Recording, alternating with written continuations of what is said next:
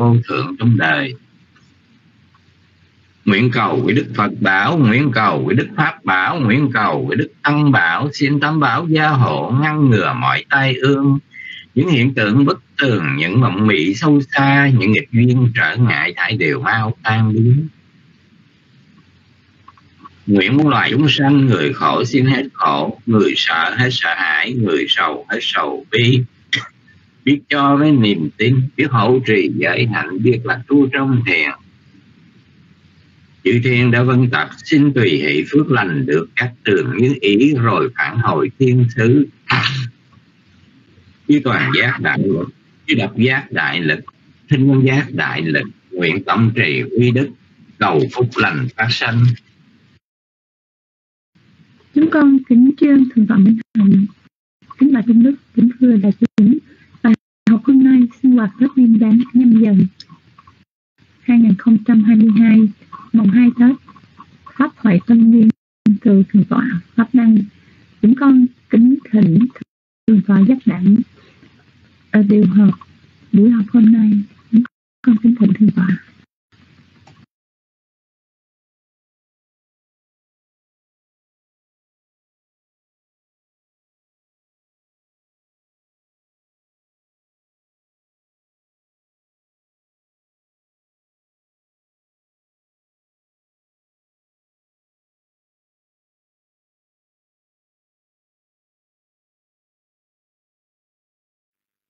Xin lỗi quý vị có xin lỗi quý vị xin lỗi quý vị có quý vị có dạ. Nam mô bích thầy dạ kính đã lễ à, tôn đức thân chào tất cả quý phật tử. Trong uh, văn học Việt Nam có một câu uh, thành ngữ tương đối rất là buồn cười đó là mùng một thì tới cha mùng ba tới thầy Ờ, đi buông cười ở tại đây không phải là vì ý nghĩa của câu đó mà. Đôi khi người ta nói mùng một mùng ba thì mùng hai là cái gì? Nó để là một khoảng trống. Và người đời sau này lại có thêm một câu khác là mùng một, tết cha, mùng hai, tết mẹ và mùng ba, tết thầy.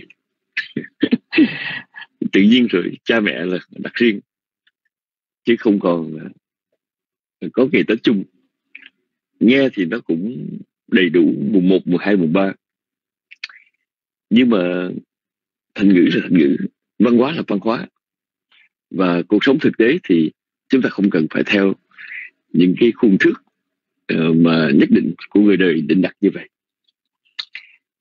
Nhưng sao đi nữa thưa quý vị ờ, ở trong những ngày Tết của chúng ta đó thì ngày mùng một là ngày đầu năm. Thường là chúng ta chú trọng những việc gì quan trọng nhất? Chúng tôi biết rằng à, một số lớn những người Việt Nam dành ngày mùng một Tết để đi lễ chùa, cầu phước đầu năm là cái gì rất là thiêng liêng. Nhưng mà rồi khi đi tới chùa, đi lễ chùa đó, thì người ta lo quần là áo lụa.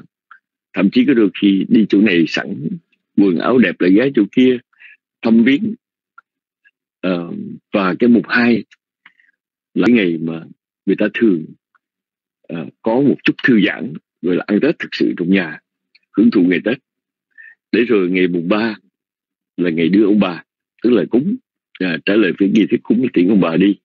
30 Tết thì rước ông bà về ăn Tết với con cái và ngày mùng ba tiễn bà đi.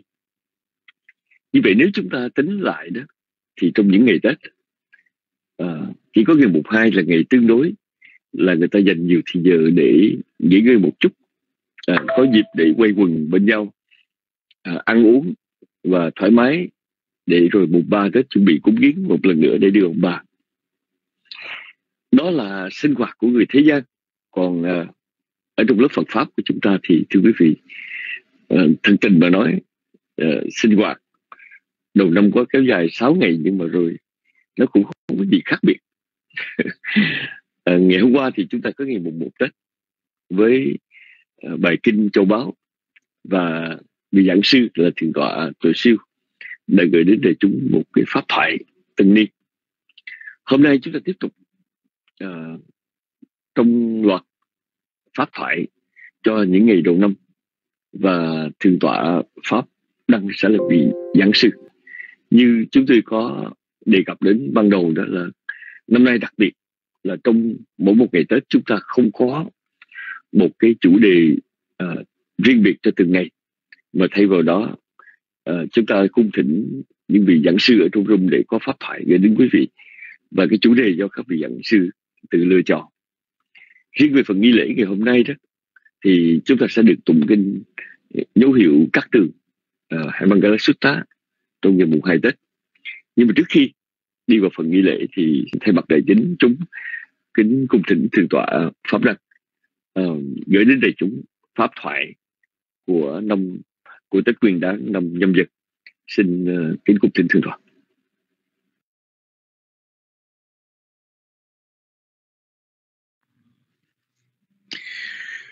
Dạ, Nam mô Bút Thầy giá, Nam mô Tham Ma giá, Nam mô Sang Khai giá.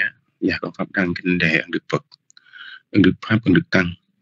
Kính nên để thượng tọa thể Siêu, thượng tọa Nhắc Đẳng, thượng tọa Bắc Tân, à, thượng tọa Minh Hạnh, à, đức Đại Tri, đức Đại Đức cùng với chư tôn đức uh, Tăng. Kính chào vị bài cô tu nữ, thượng chào Phật tử. Um, thì uh, hồi nãy thì sư Đại Tri có nói uh, một cái pháp thoại à, do các vị giảng sư tự giảng thì à, con cũng nghĩ rằng à, ngày Tết thường thì à, à cứ mỗi năm như vậy 365 ngày thì à, ngày đầu à, của năm thì gọi là ngày mùng 1, mùng 2, mùng 3 à, chọn ba ngày Tết. À, nếu mình nghĩ đi nghĩ lại thì à, cái sự Tết à, nó quanh quẩn cũng giống như kiếp luân hồi. Rồi nó cũng giống như con đường đạo lộ à, nếu mình à, đi đến đi đúng trên con đường đạo lộ đó để một lúc nào đó mình được à, thật sự được cái mùa xuân à, theo Phật giáo có nghĩa là chứng ngộ được niết bàn. Chấm dứt cái dòng lẫn quẩn khổ đau này. Thì có nghĩ như vậy? Và trong tâm thì à, cũng có suy nghĩ à, một cái thời pháp thoại à, mà tự mình giảng với cái sự suy tư về pháp à, để, để chia sẻ với hội chúng. Thì thật lòng thì quý vị biết rằng Ờ, đối với thế gian đó thì tết người ta muốn làm mới muốn làm à, cái ngày đầu xuân đó à, mong cầu những sự an lạc nhất. Nhưng mà đối với phật giáo đó, thì chúng ta thấy à, đức phật cũng dạy như vậy. À, chúng ta mỗi ngày chúng ta phải tác ý tác ý thiện pháp. À, vì cái tác ý thiện pháp đó thiện pháp mới sanh khởi. Và chúng ta tác ý thiện pháp à, trong cái cách à, mà mình ứng dụng được nhiều cái điều kiện Ờ, để mình thấy được cái cái sự linh hoạt ờ, của mình đối với ờ, cái cái truyền thống uh, Tết niên hay là cái tập truyền thống Tết hay là cái truyền thống đầu năm của người người Việt hay là Tết cổ truyền của dân tộc Việt Nam. Thì con nghĩ rằng nhé nếu mình nghĩ rằng một cái ngày mùng 1 Tết ngày xưa thì uh, lúc còn sư trưởng đó thì uh, tết nào đó thì cũng đến viếng sư trưởng và cũng mong rằng đó là uh, được đảnh lễ được nghe sư trưởng có vài lời uh, nhắc nhở mà coi như là cái uh, một cái phước báo công đức đầu năm. Thường thường thì uh, mình nghĩ uh, tết đó thì cũng lặp lại nhưng mà ngược lại cái tâm của mình đó, mỗi lần mình tác ý thiện uh, ví dụ mình muốn đi giếng sa môn mình tác ý thiện như vậy và bữa hôm nay thì cũng cũng ngồi nói chuyện với phật tử tình cờ cũng cũng nói được một vài điều. Và nghĩ rằng cái người phật tử đó thì uh, người Việt Nam thì có mùng một Tết đó, uh, ờ, họ nghĩ rằng mùng một Tết uh, đi lễ chùa và cũng có nhiều cái ý khuyên là mùng một là một cái ngày rất là trọng đại trong năm. Và chờ thì con lại nhớ đến cái chuyện mà chư thiên. Chư thiên và cái người cái người có tác ý đến thiện pháp đó đầu năm mình tác ý cho đúng đắn á, có nghĩa là mình đến chùa chiền để mình nghe một cái pháp thoại nào đó làm mới cái tâm của mình và làm cho mình có cái sự tiến bộ à, giống như là một cái một cái thiện pháp một cái thiện pháp mà được lặp lại với cái tác ý à, làm cho nó hoàn thiện. Thì chúng ta cũng thấy rằng nó thật sự chúng ta tu tập đó là chúng ta làm sao cho đến lúc hoàn thiện hoàn thiện được cái nội tâm của mình và trong cái cái thế gian sống này đó và mình biết được một cái lối thoát để mình vượt ra ngoài thì đó là cái cái điều mà rất là cần thiết để mình mình có thể vượt được cái sự luân hồi. Và mình thấy được ở trong cái cái dòng luân hồi này đó à, mỗi năm thì người ta phải à, phải phải chọn những ngày Tết và cũng à, sắm xanh sửa sắm sửa lau nhà quét dọn rửa giặt đời làm mới cả cái căn nhà để đóng đóng xuân. À, nhưng mà nếu mà theo mình nghĩ rằng nhé mỗi người á, mỗi ngày mình làm mới cái tâm của mình để mình hướng về Phật pháp con nghĩ cái đó rất là rất là cần thiết đối với mỗi người muốn dắt ngồi giải thoát bởi vì ví dụ như chúng ta thấy rằng giới á, mình muốn sinh đó thì mình tác ý sinh giới thì mình mới có giới cũng như vậy mình muốn tác ý có thiện tâm đó, thì mình phải tác ý đến thiện pháp. Ví dụ mình tác ý bữa nay mình vào nghe pháp, mình có cái tâm tác ý như vậy, để mình nghĩ rằng cái thiện pháp mà nó tích lũy nó giống như nước nhỏ từng giọt rồi bình cũng tràn đầy. Ờ, cái thiện pháp này làm có cái chủ ý, có nghĩa là mình có hướng tâm ờ, ngày hôm nay mình muốn làm những cái thiện pháp đó. Hay là đối với người đời đó thì nhiều khi họ Ờ, họ sợ trời hay là họ cầu trời hay là họ khấn giái trời đất. Nhưng mà nếu mà họ hiểu một điều là cái thiện tâm của mình á, mình khởi lên thiện tâm mà chư thiên họ có tha tâm thông họ biết được tâm của mình. Và mình nghĩ rằng chư thiên đó là những cái vị sống trong thiện pháp mà như là họ có giới có bố thí có đa văn có tàm quý có trí tuệ là những cái pháp đó. Nhưng mà nếu mình mỗi ngày mình cũng có những cái thiện pháp đó và mình sống trong đời từng ngày từng ngày rồi mình tích lũy ờ, rồi mình tự mình tự mình tự tin rằng sau cái thân quả mệnh chung đó mình gần trời và xa đất. Vì đồng nghĩa với với trời đó là mình sẽ làm người làm chữ thiên. Còn đất đó, đồng nghĩa với địa ngục ngã quỷ xuất sanh ờ, atula là những khổ cảnh. Nếu mình nghĩ rằng á, mỗi ngày cái, cái thiện tâm của mình có và cái thiện tâm đó làm với cái với một cái tâm tư ờ, cái tâm tư um, rất là rất là rõ rệt hay là rất là đặc thù. À, vì mình có tác ý cái thiện tâm như vậy. Và nếu chư thiên biết được mình có cái thiện tâm à, với cái thiện pháp là mình muốn cho cái cái phước báo công đức của mình nó nó nó từng giọt. Nhưng mà một cái giọt nước à, nó rớt vào đó mình biết nó rớt vào cũng giống như một cái người tu thiền chánh niệm tỉnh giác mà biết mình bước tới bước lui thì mình bây giờ mình biết biết mỗi ngày mình mình có tác ý thiện pháp và cái thiện pháp đó mỗi ngày mình làm như vậy nó mạnh mẽ đó à, thì nó sẽ là một cái điều rất là đặc biệt. Thường thường một cái người mà chúng ta thấy rằng đối với ngay cái thời kỳ của đức phật đó, một người họ giữ giới hay là họ vào nghe pháp hay là họ bố thí à, họ cũng có thể à, trong cái việc thiện đó họ có thể làm và họ có thể chứng đắc được đạo quả. Vì việc việc thiện đó nó thuần thục và cái việc thiện nó là cái tâm thiện hợp trí nó làm việc chuẩn bị cận hành thuận thứ chuyển tộc đó, để cho tâm tâm đạo tâm quả sanh lên. Và mình cũng hiểu rằng á, có những lúc mà mình thấy trong những câu chuyện của chư tăng những vị thánh tăng đó có nhiều khi tu tập như vậy mà không đắc nhưng mà thấy ngọn lửa là quán ngọn lửa đắc à, hoặc là quán dòng sông rồi đắc quán chiến lá rồi đắc.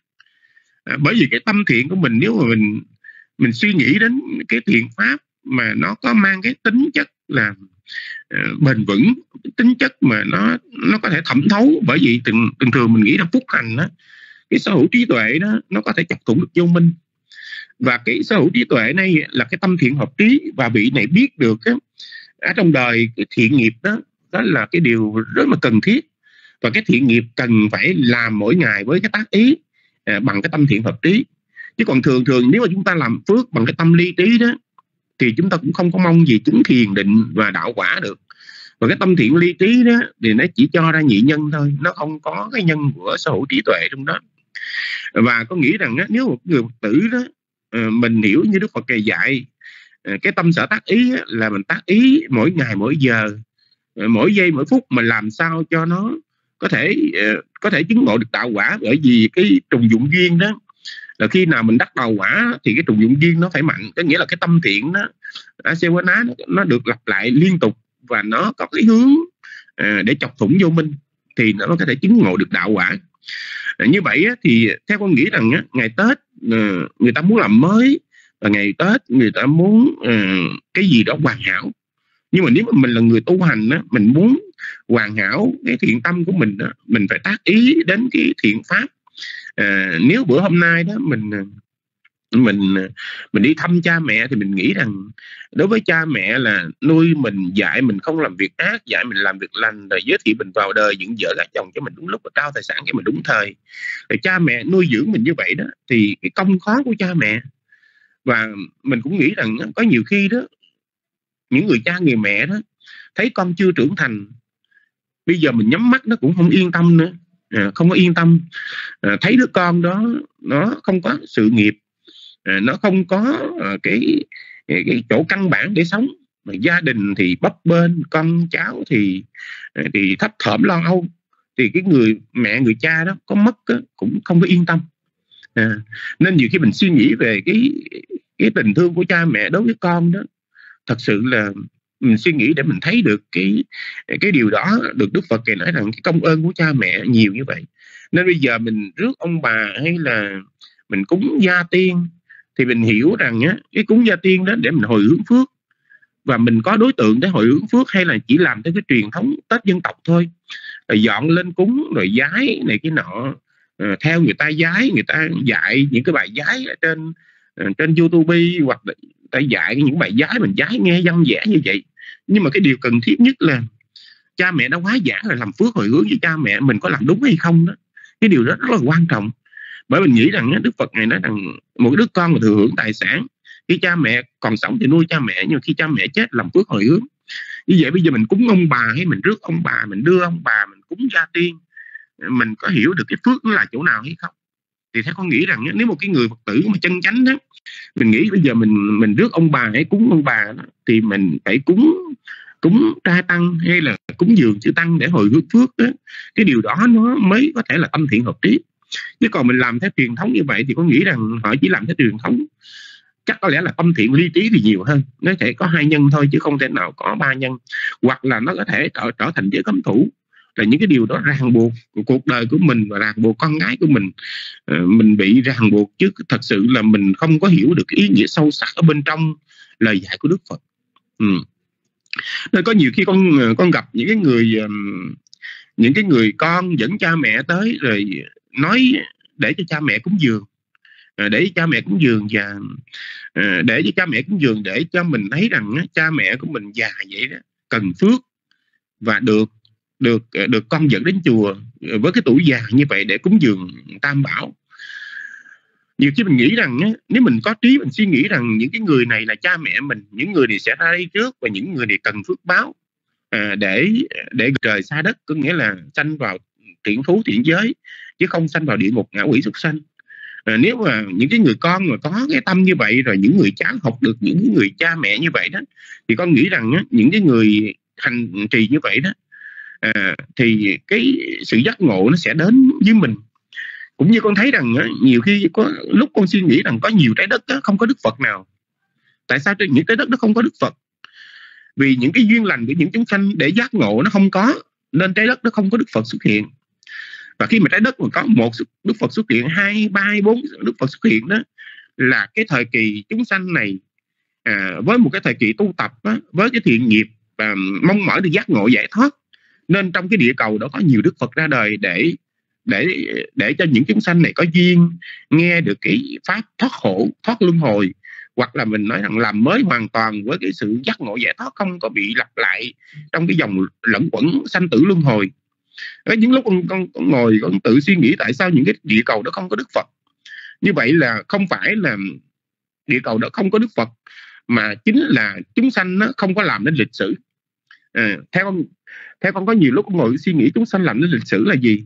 Ví dụ như một người thiện nam một người tính nữ nào ở đây đó à, họ có giọng tâm họ bố thí cũng dường trai tăng rồi họ phát nguyện trở thành đệ nhất về thiện nam hay đệ nhất về tính nữ.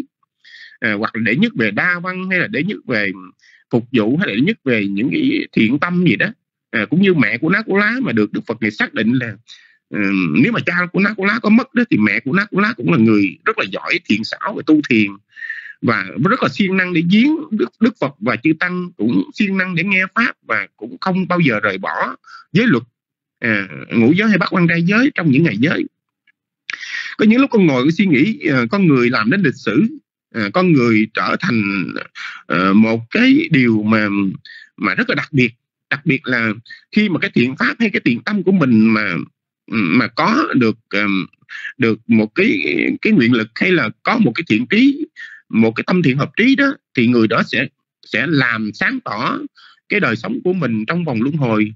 Vì sao vậy? Vì cái tâm thiện hợp trí mình làm những cái chuyện làm mà mang mình đến sự giác ngộ giải thoát. À, thì à, trong một cái thời kỳ nào đó mình sẽ là người giác ngộ giải thoát và đức phật ngày xuất hiện đó là có chúng sanh giác ngộ giải thoát thì đức phật nghĩ xuất hiện trong địa cầu đó.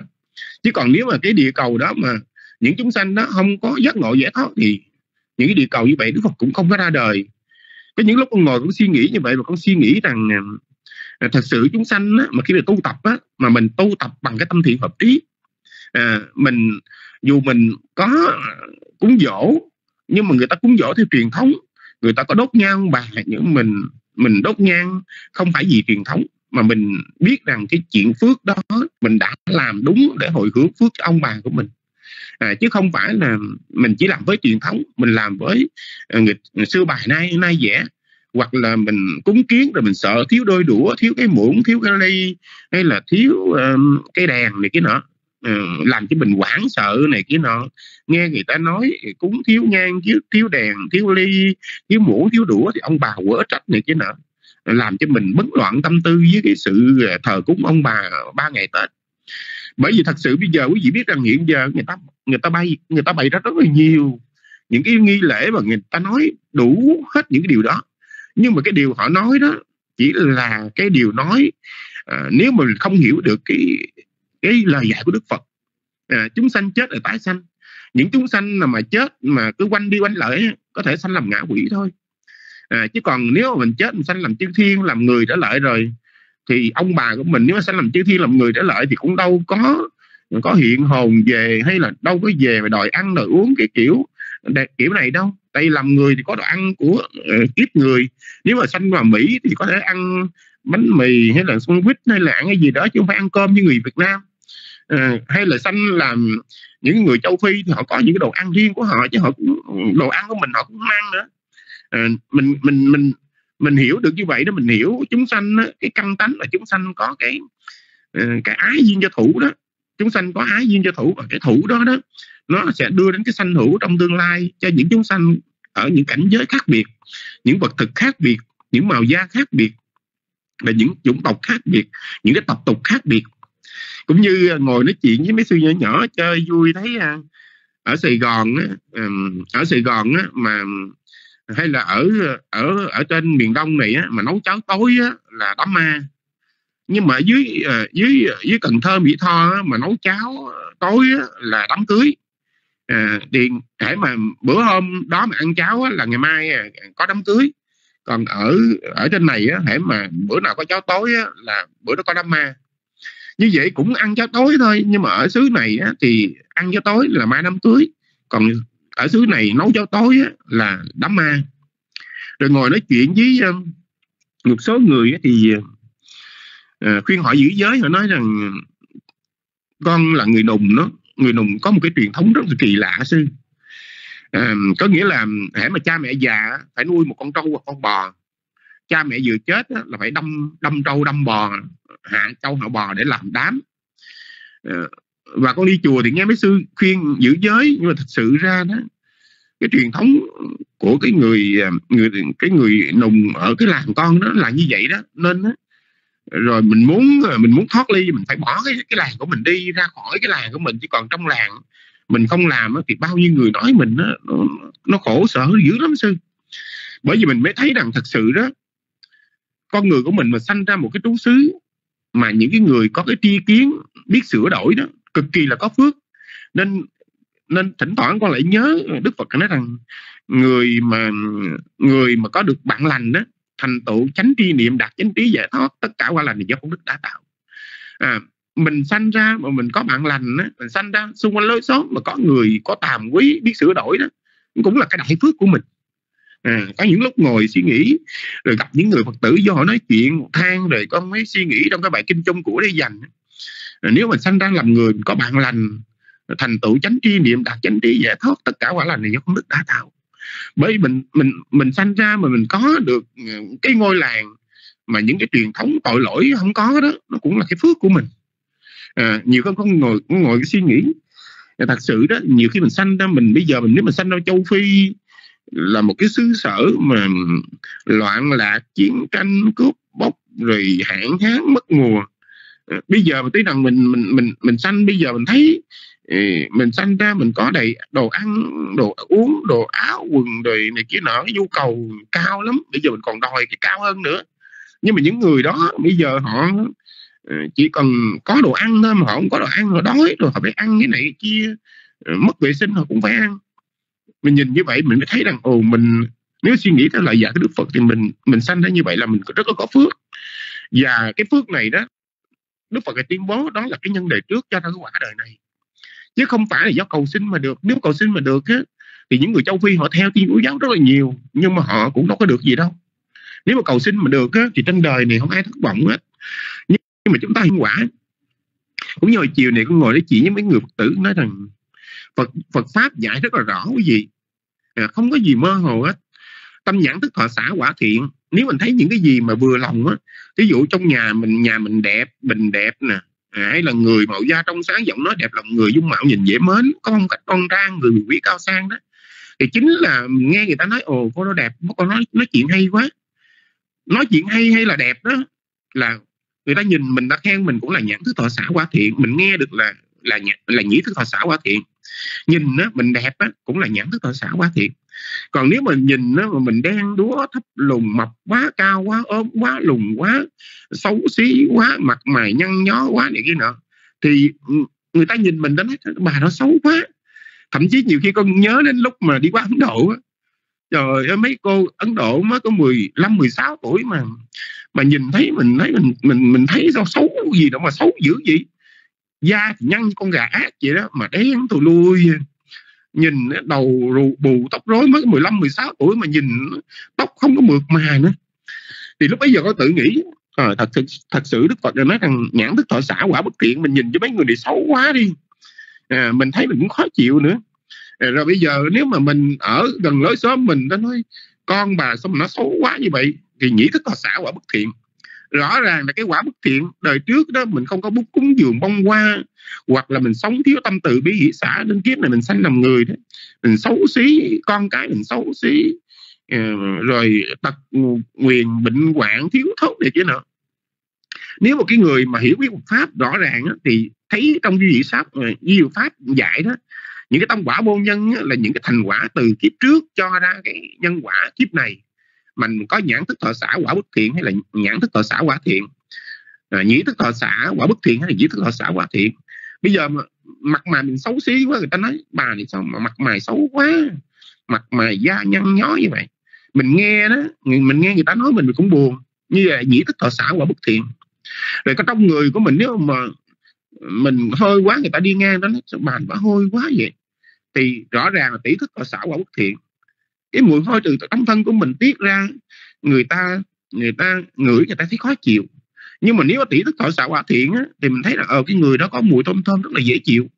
À, thì tỷ thức thọ xạ quả thiện. Như vậy thì rõ ràng quả bất thiện và quả thiện đó đó là cái cái tâm quả vô nhân do nhân quả đời trước cho ra đời này. À, nếu mà quả bất thiện cho ra nhãn thức nhĩ thức tỷ thức thiệt thức thân thức à, thân thức thọ khổ tiếp thâu uh, thọ xảo quả bất thiện này quan sát thọ xảo bất thiện nhưng mà nếu mà mình là người đời trước mình có tạo thiện nghiệp á, thì cái tâm thiện nó tạo ra sắc tục sinh á, nó làm cho mình uh, màu da trong sáng giọng nói đẹp lòng người dung mạo nhìn dễ mến có phong cách đoan trang người quyền quý cao sang rồi có nhiều khi con ngồi cũng suy nghĩ gì nè.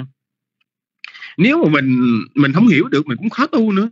Ví dụ giờ đời này mình có ừ, giọng nói đẹp lòng người đi mình đi làm ca sĩ mình làm ca sĩ mình chạy show riết rồi chạy show ở chỗ này chạy show chỗ kia rồi mình cũng không đi chùa làm phước nữa.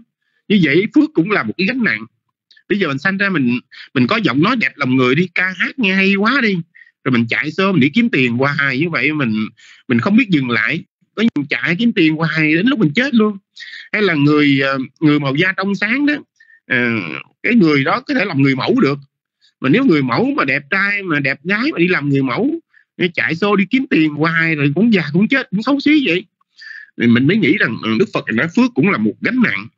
Nếu người đó không hiểu được như vậy đó, thì giống như là mình nghèo rồi làm cho giàu giàu làm cho nghèo nghèo làm cho giàu giàu làm cho nghèo. Có những kiếp á, mình sẽ làm người từ bóng sáng, có nghĩa là phước báo trổ xanh cho mình. Mình được màu da trong sáng, giọng nó đẹp, lòng người dung mạo nhìn dễ mến, có phong cách đoan trang.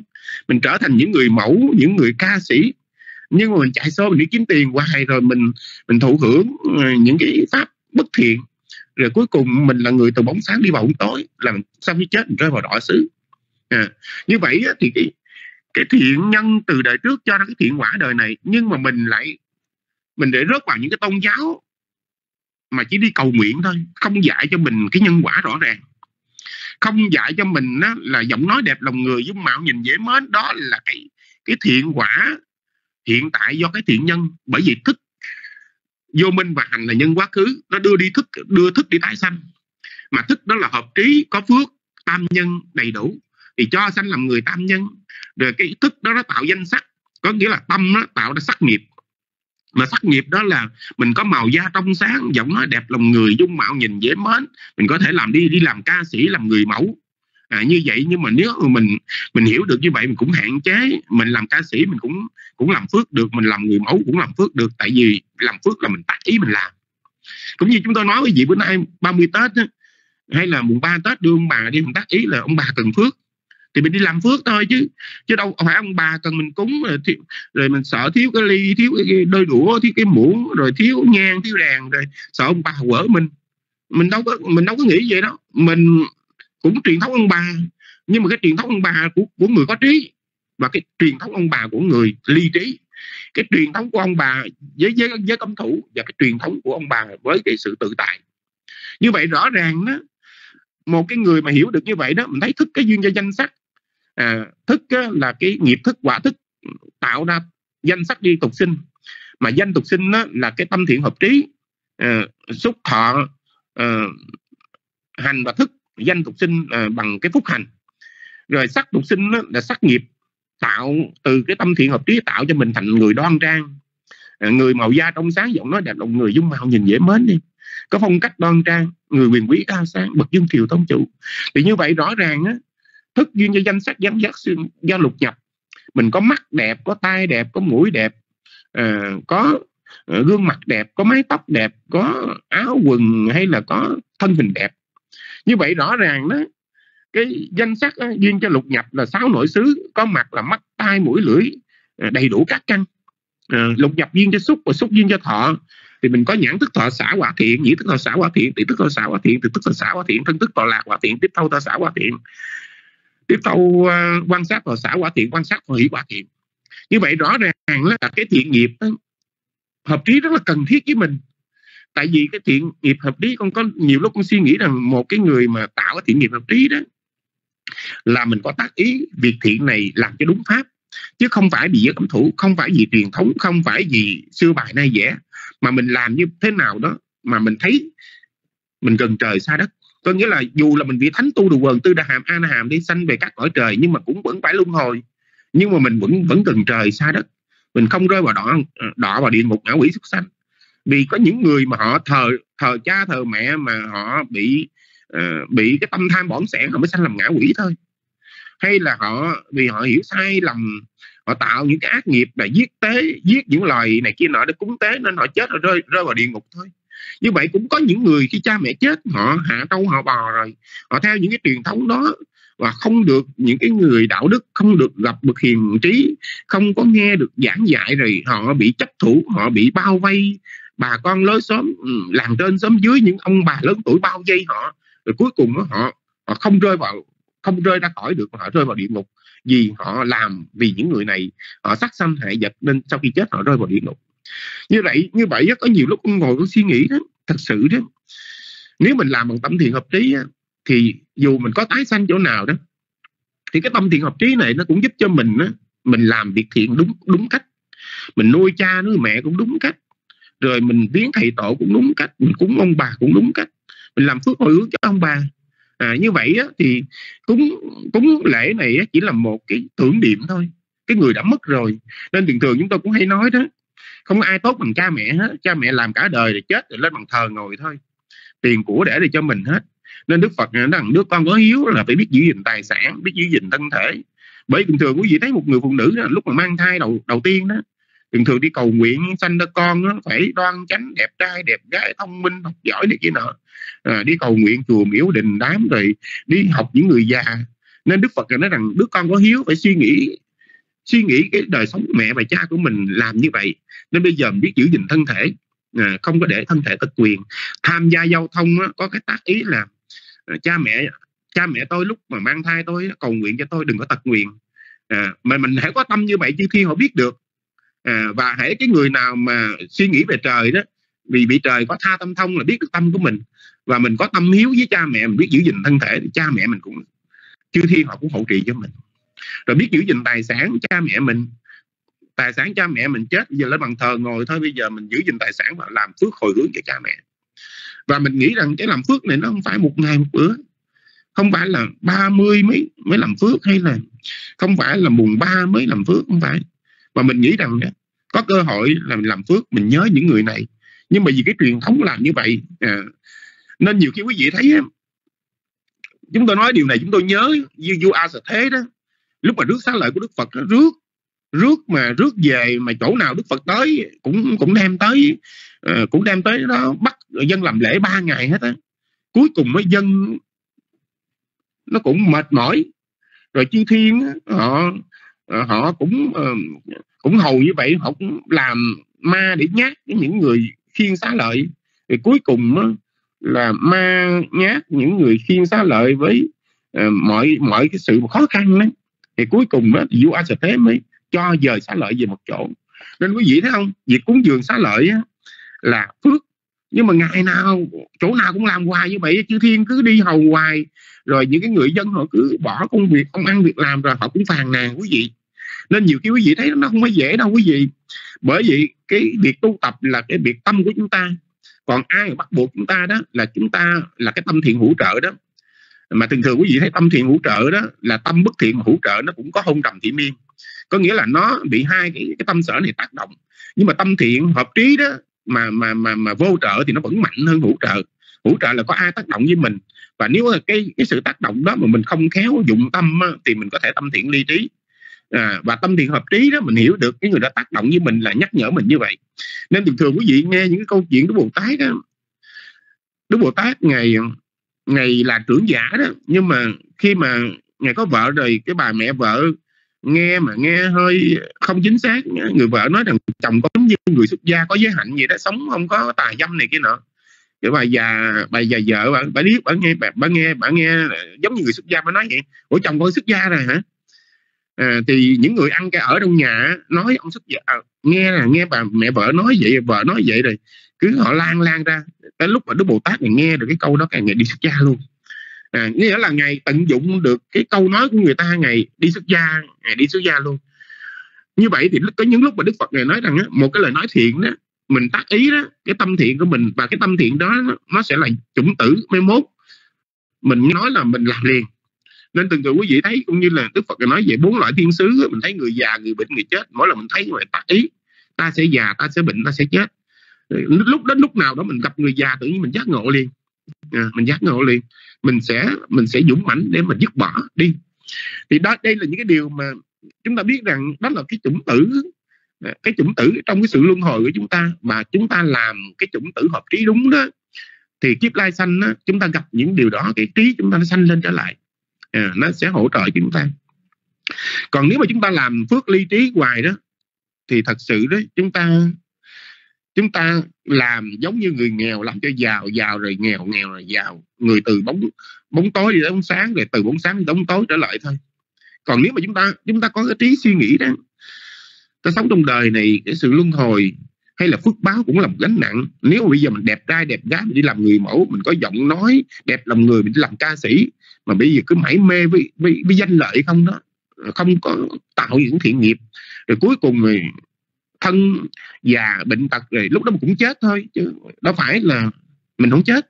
Dù mình có đẹp lòng người dung mạo nhìn dễ mến mình có thể làm à, người mẫu nam hay là người, người mẫu nữ hay là đi làm ca sĩ. Nhưng mà rồi mình cũng già chết thôi chứ không ai già chết. Như vậy á, thì có nhiều lúc con ngồi tự suy nghĩ ờ, vấn đề này đó nên con thấy rằng Ờ, một cái người mà mỗi ngày mà mình tác ý cũng giống như người tu thiền vậy đi biết đi đứng biết đứng. Nhưng mà chánh niệm á, mình biết rằng á, cái thân của mình á nó nó khỏe mạnh là nó đi đứng được như vậy. Nhưng mà cái lúc nào đó cái thân thể bất hòa đó mình muốn dở chân đi cũng được nữa. Thậm chí con mới con mới 63 tuổi thôi. Cái lúc lúc sau này á cái nhúc lúc nằm ngủ trên giường mà bước xuống giường đó bước không được có nghĩa là phải lăn xuống thôi chứ không có tự bước xuống được cái chân nó nó đau. Thì có lúc con tự cũng suy nghĩ rằng, thật sự bây giờ mình mới 63 tuổi thôi, mình mình muốn rào rượu như vậy rồi. Mà bây giờ mấy người sống tới bảy tám mươi tuổi chắc lẽ là họ cũng cũng còn mệt hơn mình nữa giờ. Có nhiều khi suy, tự suy nghĩ như vậy.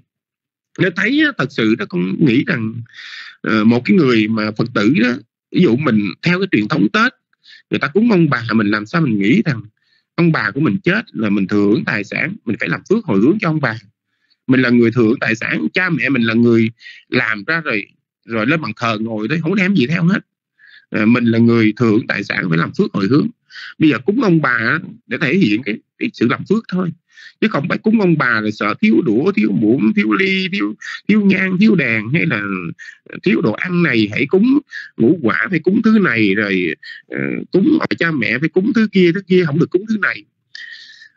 Nhiều khi mình lên trên á, mạng rồi mình thấy người ta nói cái gì cách cúng kiến rồi bày ra cúng kiến mình nhìn thấy mình nhức đầu luôn. Nhưng mà chúng ta biết cái đó là gì?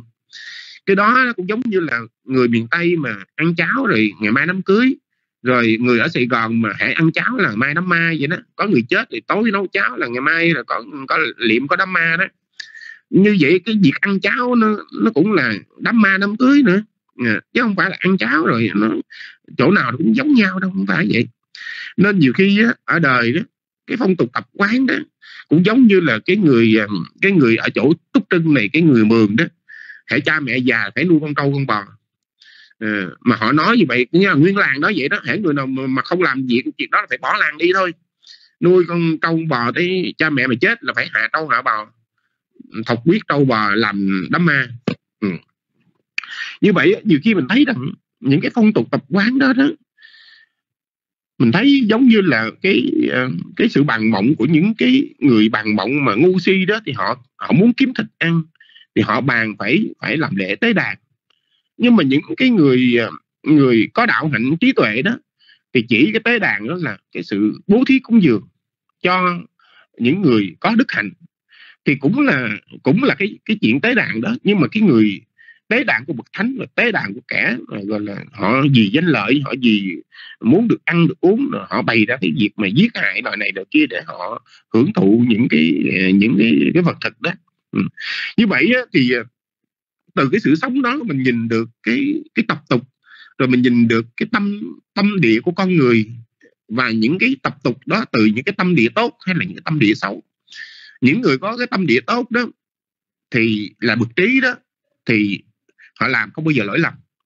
Nhưng mà cái cái tập tục và cái, cái tâm địa của người xấu đó thì nó sẽ là không phải là người trí nó sẽ lỗi lầm nên đó, Đức Phật ngày dạy mình suy xét về người trí đó người trí làm đó người ta tán thán chứ không thể nào mà mà chỉ trích được. Cái hành động và cái cách của người ngu đó thì lúc nào người trí cũng thấy được cái điều đó là tội lỗi. Nên nếu chúng ta hiểu được điều điều Đức Phật đang nói đó thì cái người trí đó mà chỉ cho mình bày cho mình cái chuyện gì đó thì cái chuyện đó đó là không có người ta phê phán được. Mà chỉ có người ngu đó họ bày ra cái gì đó là nhiều lỗi lầm nhiều lỗi lầm và nhiều sai trái và mình chấp chấp trì theo những cái cái cái, cái, cái, cái, tập tục đó đó thì mình tự làm khổ đời này đời sau. Khổ nhiều đời như, vậy. À. và nó trở thành một cái gì cái thói quen của mình mà luân hồi đó mình khó thoát ra được. Nên đường đường mình thấy rằng á, mình mình sống với cái sự tổn hại đó thì mình sanh ra thế giới tổn hại quý vị à, Đức Phật này nói như vậy. Mình sống với cái tâm tổn hại á, thì mình sanh ra thế giới tổn hại à, thế giới tổn hại là cái thế giới tương lai của mình á, từ thủ có duyên cho hữu cho sanh. À, hãy mà sanh ra những cái trú xứ có tổn hại á, thì mình già chết trên những cái trú xứ có tổn hại đó. Như vậy á, rõ ràng Đức Phật này dạy Phật pháp á, rất là rõ ràng chứ không có gì mà chỉ cần khéo dùng trí suy nghĩ chút xíu thôi. Nên pháp của đức phật thiết thực là như vậy đó. Nhãn thức thọ xã quả thiện hay là nhãn thức thọ xã quả bất thiện nhĩ thức thọ xã quả thiện hay nhĩ thức thọ xã quả bất thiện. Và cái tâm thiện hợp trí nó cho ra sắc tục sinh và làm cho người đó đoan chánh người đó ờ, có quy quyền thế lực. Nhưng mà người đó sống á, có tạo phước được hay không?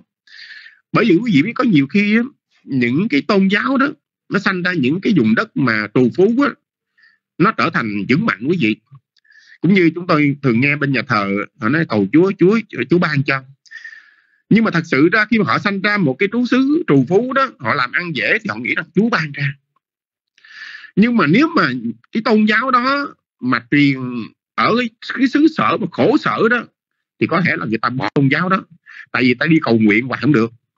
Cũng như mình nói những câu chuyện vui vui là đi cầu nguyện hoài ổn mì nhưng mà đi làm được ổn mì thì người ta không có đi cầu nguyện nữa quý vị. Nên nhiều cái tôn giáo nó sanh ra những cái vùng trù phú đó À, nói rằng do Chúa ban do Thánh Allah ban á, thì người ta đó người ta tin lắm người ta nói ừ nhờ Chúa mình mới sống mà xứ sở của mình bây giờ giàu sang mình ăn uống ngon lành như vậy. Những cái xứ kia nó, nó nghèo khổ nó, nó thiếu ăn thiếu uống à, nó không có biết cầu Chúa như vậy. À, thì họ nói như vậy nhưng mà thật sự đó quý vị biết rằng cái con người của chúng ta đó nhờ cái phước đời trước cho ra mình sanh ra những cái trú xứ tốt đẹp rồi những cái tôn giáo đó nó ăn theo nó làm lây lan nó làm nó làm lây lan và nó nó vững mạnh quý vị. Tại vì con người mà hãy họ làm ăn được á, thì họ bỏ vô nhà chung được. Những ngôi nhà thờ rất là to lớn. À, rồi những cái à, những cái gì nó cũng hiện đại hết. Nhưng mà mình hiểu rằng nếu mà người phật tử mình hiểu thật sự tội nghiệp mấy người này mấy ngày mẹ sẽ từ bóng sáng đi vào bóng tối. Và sống họ tin tưởng như vậy. Cũng hay là trong bài kinh tâm minh nói rằng ta sẽ thấy 81 kiếp đó không có một người ngoại đạo là sinh về cõi trời chỉ có người tin nhân quả thôi như vậy như vậy á, rõ ràng á, cái người tin nhân quả rất là quan trọng. Và cái tâm thiện hợp trí á, mình làm có trí đó mình sẽ tự tin quý vị. Nên thường thường chúng tôi nói quý vị nếu mình sống bằng cái tâm thiện hợp trí đó mình tự tin rằng mình sẽ tuyên bố rằng mình gần trời xa đất. Tại vì mình càng ngày sống càng lâu mình có nhiều thiện pháp. Và thiện pháp đó mình có tác ý làm với cái tâm thiện hợp trí rõ ràng. Như vậy thì sống càng lâu tu càng lâu đó mình càng thấy cái cái cái thiện của mình mạnh và cái thiện mạnh nó có thể làm việc chuẩn bị cận hành thuận thứ chuyển tộc để tâm đạo thông quả sinh lên. Nếu không nữa thì cái thiện hợp trí mạnh ấy, cho mình kiếp sau mình cũng sanh làm người tam nhân. Mình muốn tu thiền cũng đắc được thiền muốn tu thiền quán đắc được đạo quả. Như vậy á, đức phật ngài nói rất là cần thiết để mình sanh làm người có trí. Rất là cần thiết bằng tâm thiện hợp trí. Như vậy tâm thiện hợp trí làm quen nó cũng a se quán a nó cũng trở thành trùng dụng duyên nó cũng trở thành hổ tương duyên nó để giúp cho mình sanh lên tâm đạo tâm quả. Và nếu mình không làm đúng như vậy đó mình đã làm sai rồi. Mình đã là người lấy cát mà, mà nấu cái thành cơm rồi. Tuy rằng mình nói mình trong giáo pháp giải thoát nhưng mình đã làm sai rồi giống như người lấy cát nấu thành cơm thôi. Có cầu nguyện gì cũng không có thành thành cơm được. Tại vì cát lấy cát mà nấu thì không thành cơm. Nếu mình làm bằng tâm thiện ly trí hoài đó thì mình chỉ sanh làm người nhị nhân thôi không thể là chứng thiền định đạo quả được như vậy á mình cần phải thấy được cái tâm thiện hợp trí rất là quan trọng cho mình sanh làm người tam nhân có khả năng chứng thiền đắc, đắc đạo quả. À, như vậy á, thì mình sống từ năm này qua năm kia mà con rất là thích dùng cái từ là cái đại học đường thế gian là đại học đường lớn nhất. À, bởi người ta học đại học á, mấy năm ra thôi nhưng mà học thế gian học biết thành thánh nhân mới được ra. Mình học hiểu được cái sự thật mà đức phật này nói về khổ tập diệt đạo đó thì mình mới được ra khỏi luân hồi còn nếu không á, mình cái chết đi sanh lại. Giống như tết này rồi tết năm sau tết năm sau rồi tết năm sau rồi đến tết rồi đến chết. Đến tết rồi nhiều tết quá mình chết. Như vậy á, mình cũng không có thấy được cái gì từ trong ánh sáng của Phật pháp. Và cũng không làm cái gì để cho cái tâm mình nó tự tin hơn với cái thiện nghiệp mình sống mỗi ngày. Thật thật lòng lúc này đó thật, thật lòng lúc này đó đừng tỏ cái máy của con mỗi lần mà vô kết nối rồi cái đầu nó nó văng ra rồi không có thấy cái, cái lớp học đâu hết á. Rồi cái đầu vô rồi kết nối nó quay vòng vòng vòng rồi văng ra. Mà chỉ có nghe thôi chứ không cầm mic cầm gì được không không thấy cái màn hình gì á. Nó có quảng cáo nó chạy qua. Ờ, bạn có thấy là cái ờ, cái cái này là cái cái chương trình là tốt nhất cho người người mình không? Mình nhìn thấy tốt cái gì đâu. Nó cứ quay mình cứ nhức đầu mình cứ chạy ra chạy vô chạy ra mấy chục lần vậy đó. Nhiều khi giống như con nghĩ giống như là cái phao tháo khủng bố con vậy đó mỗi lần muốn vô thì vô cái nó văng ra rồi muốn cầm mít cầm được muốn thấy ai cũng thấy được hết á. Nên á, bữa hổm giờ rất là mệt mỏi cái vấn đề này. Rồi con cũng muốn nói như vậy đó. bữa nào sư tại ti có gặp biết được tại sao nó bị vậy. Thật sự con vô lớp học lâu rồi mà cái vụ này con cũng giỏi mà con thấy mỗi lần vô nghe thì nghe nó hiện ra cái bản nó chạy tới mình ngồi nửa tiếng hồ mình coi nó có mất không nó không mất nữa. Mất thì mình phải kết nối lại rồi nó mất cái đó rồi mình, mình vô nó văng ra thì văng vô vậy đó. Làm mệt mỏi quá từ bữa hổm giờ mà mệt mỏi quá rồi lạnh như, giống như khủng bố mình vậy. Làm có cũng cũng cũng cũng ngán cũng ngán mỗi lần vô cứ cứ ngồi hoài nó vô ra vô ra vô ra. Nó cứ quay vòng vòng vòng vòng hoài bực mệt mệt mỏi quá này con con lớp con mệt mỏi nữa có thôi con ngủ luôn với con vô gì mà cứ quay vòng vòng vòng vòng hoài. Bữa nay sao nãy giờ con con con con cũng nói không? Nếu mà nó quay kiểu đó hoài, chắc con cũng không vô giảng được. Ai về đâu, nãy giờ thì nó hiện màn hình, nó cũng không có bị gì chắc có lẽ là tết cũng còn muốn, chắc chữ gì con còn muốn còn còn giảng trên lớp học này nữa, sao chứ? Bữa hổm giờ cũng thấy con quải quá, con vô gì nó cứ làm mệt mỏi, con nhức đầu rồi, con con cứ đứng, con ngồi, con cứ chăm chú, con vô ra vô ra vô ra vô ra mấy chục lần, con mệt quá thôi thì bữa hôm nay nhân ngày tết đúng lẽ là nói gì cũng vui hết. Nhưng mà thật sự ra ừ, cái vui mình thấy cái khổ mình thấy cuộc đời nó bất tội nguyện. À, chứ không phải là ừ, lúc nào cũng cũng muốn nghe pháp là cũng nghe được. Có lúc cũng muốn cũng không được. Bởi vì ừ, cái thuận duyên đó bởi vì trong Phật giáo gọi là cái, cái những cái những cái duyên đó những cái điều kiện nó có những đủ đủ điều kiện thì nó nó nó kết thành duyên cũng như anh ờ, Châu anh nói sao mà con liên lạc gì được. Thật sự đó, con có liên lạc được với ai hết á. Mà vô nó cứ quay vòng vòng vòng, không có nhìn thấy ai hết trơn á. Rồi cái ra, vô ra vô ra, vô hồi, nửa tiếng hồ không được, tắt máy ngủ luôn. Không thấy ai cũng vô vô vừa vừa vô được cái nó hiện ra cái gì đâu mà nó, rồi nó, mình kết nối lại cái nó văng ra được chứ nghe tiếng không à. Cái này giờ chỉ có nghe tiếng thôi chứ còn không thấy hình, thấy chữ gì, không thấy rung lớp học gì hết trơn bữa hôm giờ nó làm con mệt mỏi quá, thành ra tết không biết. Bữa hôm nay mùng hai tết mà thiết được vậy, cũng thấy cũng như tổ đãi vậy. Thôi thì con cũng xin chia sẻ với cái sự suy nghĩ của mình ờ, với cái bài pháp hôm nay. Phước nào phát sanh được từ pháp thoại này, kính dân linh quý ngài chia đến quý vị. Xin hồi hướng đến chư thiên. Bây giờ thì con xin kính đảnh lễ đừng đại giác đẳng. Xin thỉnh đừng đại giác đẳng ờ, để ờ, có chương trình gì nữa? Dạ. yeah.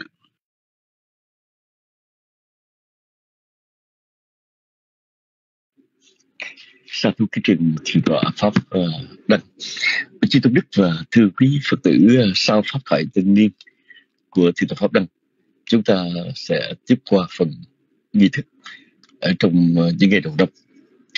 À, như quý vị biết rằng uh, xuyên suốt cả chương trình sinh hoạt Tết Nguyên Đán 6 ngày mỗi ngày chúng ta tập trung tụng một bài kinh.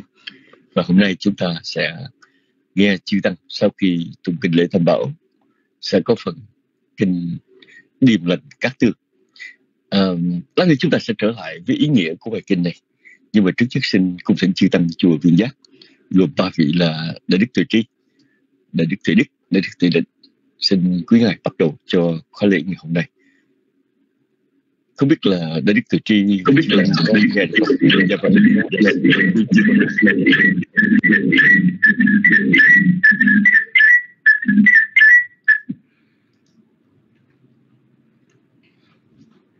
dẫn kính lãnh lễ thượng tọa giác đẳng thượng tọa Phật Đăng thượng tọa Pháp Tân cùng chư sư đức đang hiện diện trong râm. Xin kính chào đại chúng, xin phép được bắt đầu khóa kinh nhân ngày mùng 3 Tết nhâm dần.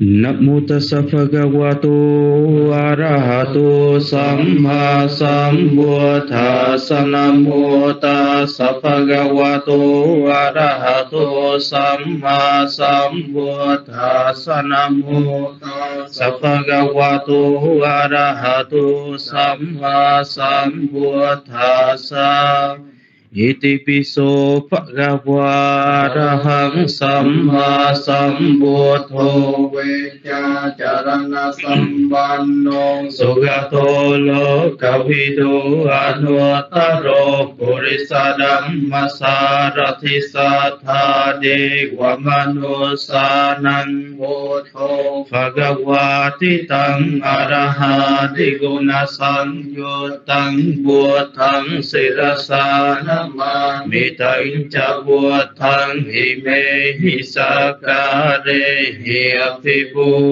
ชายามี Swakha tu Bhagavata thi Sanditiko Akaliko Ehipasiko Panayiko Pachatang Vedita Bo Vinyo si Swakata Degunasang na Dhammang Sirasana Mamitang Cha Dhammang Himehisakare ही अतिपो छाया में Supatipanno Bhagavato Sāvaka Sankho Supatipanno Bhagavato Sāvaka Sankho Nyayapatipanno Bhagavato Sāvaka Sankho Sāmijipatipanno Bhagavato Sāvaka Sankho Yaridang Chattari Purisa Yuga Niyata Purisa ริสปุงกลาเอสัพกวโตสาวกสังโฆอาหุเนยโยมาหุเนยโยดักขิเนยโยอัญจริการณิโยอนุตรังบุญญาเขตังโลกาสาติตังสุปฏิปันนาดิกุณสังโยตังสังฆังสิรสานมานิตังจะสังฆางอิเมหิสักการะหิอภิปุจยามิ Sâm Pua Thê A Tha Huy Sánh Cha Đoa Ta Sánh Cha Sa Ha Sa Kê Văn, Cha Sa Ta Sa Ha Sa Ni Nam Ma Ni se Ra Sa A Hằng Tê Sang tham Mạnh Cha Sang Khanh, Cha A Đa Rê Na Nam Ma Mi Hằng Nam Ma Kya Đa Nu Pha Huê, Na Hằng Qua Sa Bê Upa Ta Huê ta ra ญาปิวินาสันตุเสสะโทสัมบุเทปัญจปัญญาสัญจจตุวิสติสังหาสเกตัสสะตัสหาสามินามาหิสิรสาอหันเตสันธรรมัญจะสังขัญจะอาดาเรนานามามิหังนามาการานุภาเวนะหันตสัมเปปานทเวอเนกันตดายาปิวินาสันตุอเสสโตสัมบุเทนาวุตระสเตอาทัจตาลิสสหัสเกวิสติสตสหัสาหินามานิสิรสาอหังเทสังธรรมังจะสังขังจะอาดาเรนนามามิหังนามัการานุภาเวนะหันตัวสัพเพอุปาตเวอเนกาอันตรายาติวินาสันตุอาเสสาตุเอวเมสุตัง เอกังสมยังภะกวาสาวาติยังวิหารติเจตวเนอนาตบินติกาสหารามเมอะทโกอัญญตาราเดกวตาอภิกันตาญลติยาอภิกันตวันนาเกวลกัปปังเจตวนังโอภาเสตวเยนะภะกวาเตนุปสังกมิอุปสังกมิตวาภะกวันตังอภิวาเดตวาเอกมันตังอาทาสิเอกมัน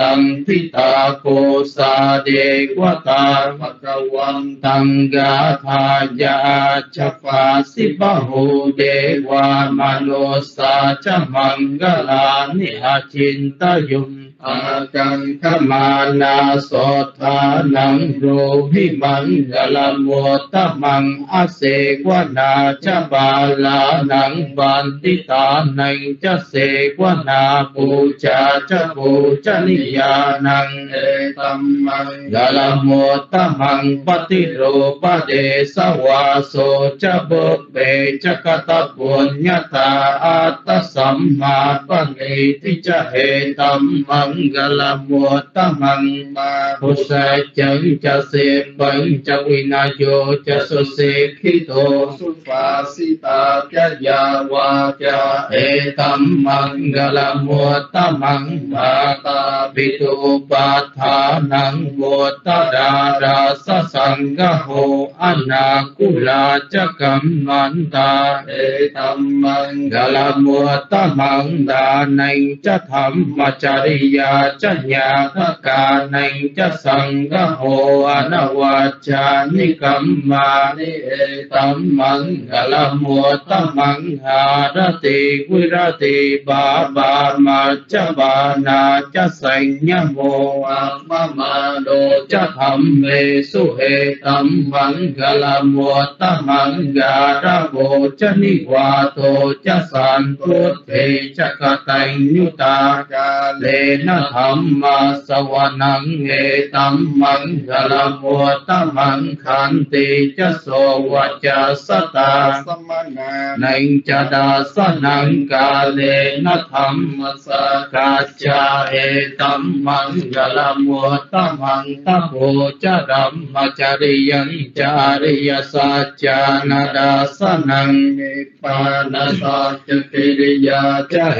tam mang ga la mu tam mang ga ra vô cha ni wa to cha san tu te cha ka tanh nhu ta ca lê na tham ma sa wa năng nghệ tam mang ga la mu tam mang khan ti cha so wa cha sa ta nành cha đa sa năng ca lê na tham mang tam tha sa tham hi chi tam ya sa na kam va ti a so ra yang khe mang he tam mang ga la tam mang he ta di sa ni na sa pa tham pa ra chi ta sa ba ta so thinh ya chan ti te san mang ga la tam mang ti như vậy tôi nghe, một thời thế tôn à, ngự tại kỳ viên tịnh xa của trưởng giả cấp cô độc, gần thành xa về khi đêm gần mãn, có một vị trời, dùng sắc thổ thân à, hào quang chiêu diệu, sang tỏa kỳ viên đến nơi Phật ngự à, đảnh lễ thế tôn.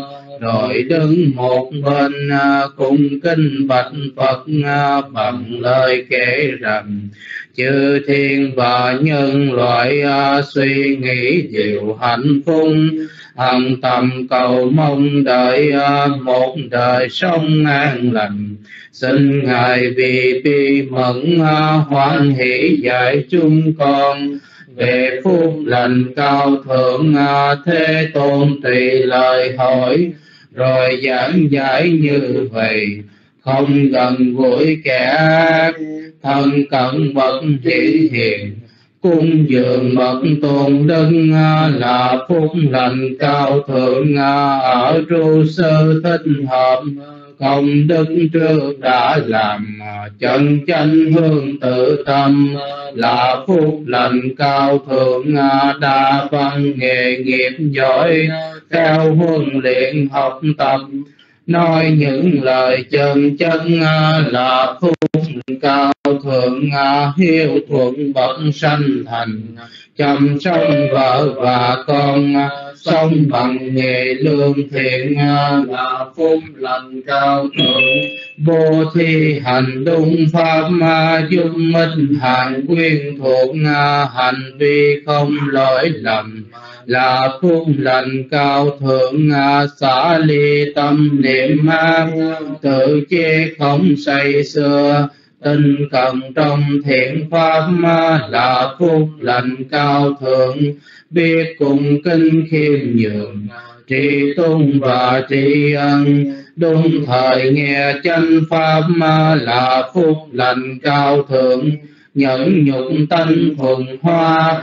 Thường y kiến sa môn tùy thời đàm luận pháp là phúc lành cao thượng thiền định song phạm hạnh. Thấy được ly thanh đế chứng ngộ quả niết bàn, là phúc lành cao thượng. Khi xuống chạm việc đời, tâm không động, không sầu. Tự tại và vô nhiễm, là phúc lành cao thượng những sở hành như vậy à, không chỗ nào thôi thân. Khắp nơi được an toàn, là phúc lành cao thượng. Dẫn đuôn nimitang awamanga Layo Jamana Bosakuna Sasato Yahodo Sebinang Hakantam Bodhanukha Vena Vina Samentu Yang Don Nimitang Awamangalayo Jamana Bosakuna Sasato Papa Kahodo Sebinang Hakantam Dhammanukha Vena Vina Samentu Yang Donนิมิตังอวามังกา ลังจะโยจามนาโบสกุณาสสัตโดปาปักกะโหโดสปินังอากันตังสังขานุภาเวนะวินาสเมนตุโดคาปาตาจานิตุคาพยาปาตาจานิพยาโสกาปาตาจานิโสกาหอนตุสัพเตปิปานิโนเอตา วตาจะอัมเหหิสัมปตังบุญญาสัมปดังสัพเพเดวานุโมดันตุสัพพสัมปติสิทธิยาดานังดาดันตุสัทธายาสีลังรักขันตุสัพพดาภาวนาพิรตาหอนตุกาจันตุเทวตากตาสัพเพปุถธาปลาปัตตาปัจเจกานังจะยังพลังอร หันตานังชะเตเกนรักขันบันทาริสัพพาโสมหากรุณิโกนาโทมิตาจะสัพปานินังบุเรตวปารมิสัพพะปัตโตสัมโบ विमोतमं हेतेन स च वाच्येन होतु ते च यमङ्गलं च यन्तोपोति या मूले साख्यानां नान्ति वातनो एवं त्वं विचयो हि च यासु च यमङ्गले अपराचितपल्लं केसि से पथवि बौखरे अपि से के सा पगुथानाङ्गापतो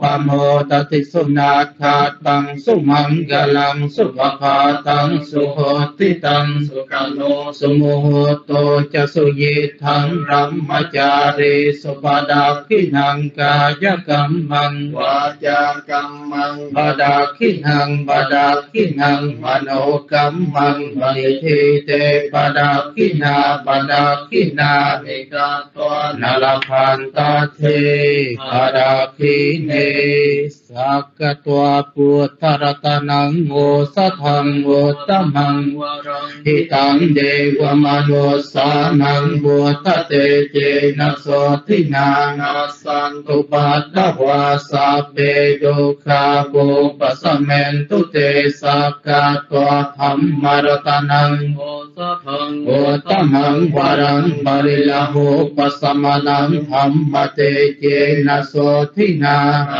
สันตุปัตตวาสัพเตปายาโบปะสะเมนตุเตสักกาตัวสังฆรตนังโอสัทังโอตมังวรังอาหุนยยังบาหุนยยังสันฆเตเจนะโสทินานาสันตุปัตตวาสัพเพโรกาโภปะสะเมนตุเตยังกินจิรตนังโลเกเวจติวิเวทังบุตร ตนังบุตสมังนาติตัสมาโสติปวันตุเตยังกินจิรตนังโลเกเวจติวิเวทังบุตรตนังหัมมสมังนาติตัสมาโสติปวันตุเตยังกินจิรตนังโลเกเวจติวิเวทังบุตรตนังสังคสมังนาทิตัสมาโสติภาวันตุเต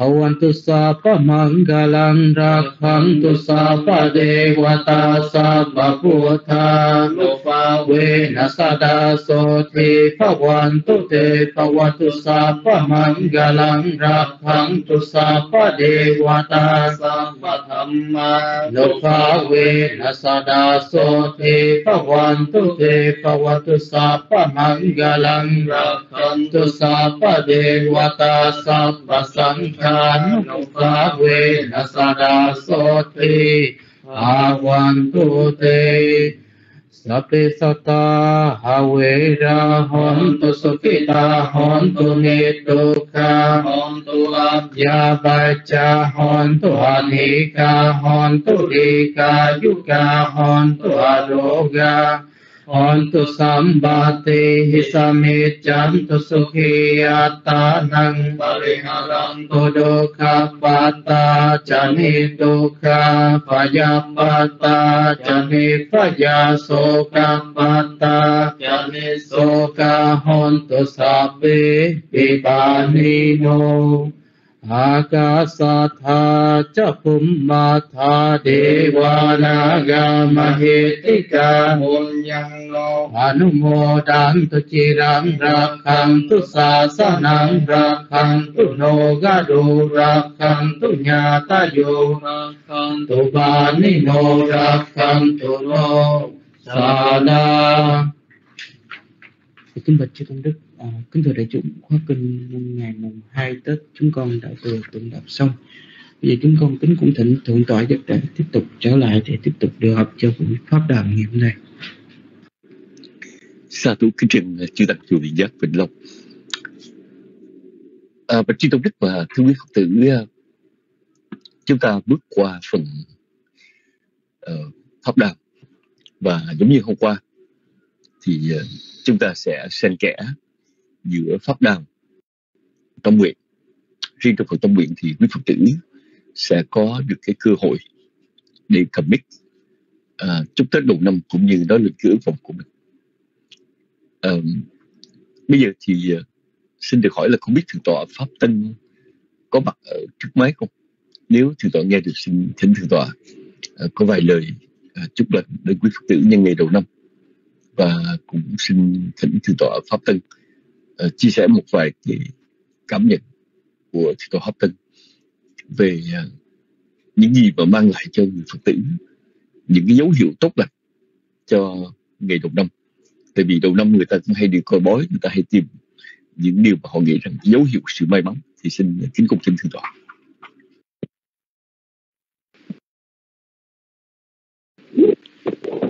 dạ, nam mô Bụt thầy giá của sanh giá. Con thành kính định à, ân đức bảo đức phật và chư tăng. À, con kính định rất đảng tập hành tệ để đức sư nguyên chư tăng. Chào à, uh, tu nữ và thân thiện nam nữ.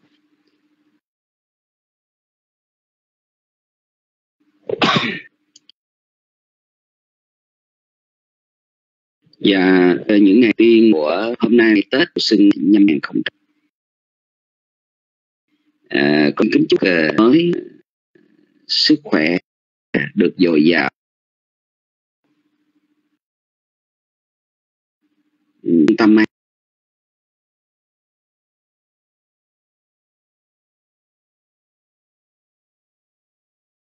Mạc và đặc biệt là thuận duyên con đường.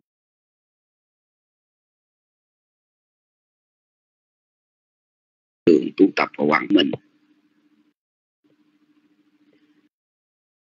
À, đời à, Phật pháp được à, trường tồn lâu dài. Trên à, đời này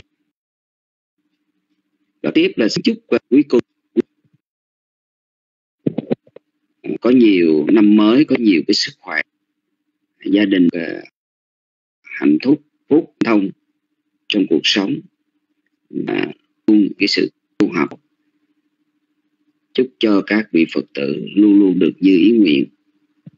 Đó là lời ờ, cầu chúc tết của chúng tôi trong ờ, đầu ngày mùng 2 của xuân nhâm dần. Và để uh,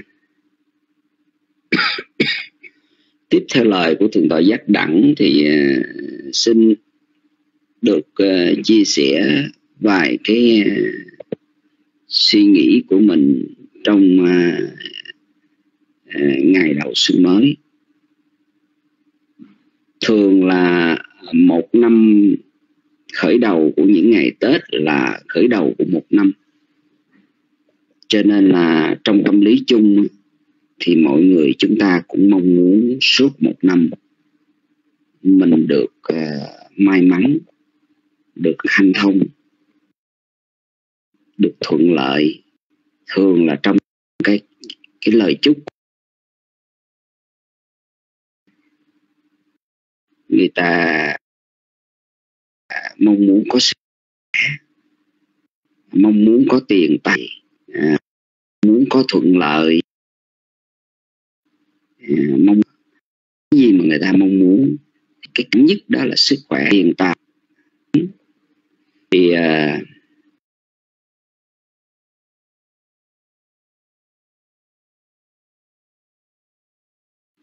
sự thật ra mà nói là ai ai cũng mong muốn mình là rồi ờ, cái cách mà mình ờ, chọn ờ, phần lớn phải là những người phật tử thường thành. Thì người ta đi đến chùa, đến miếu, người ta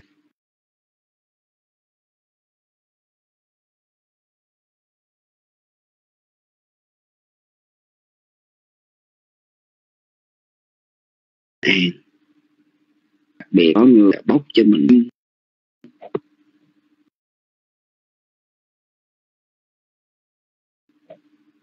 Hoặc có người thì à, tìm cho mình một ông thầy bói hay là một bà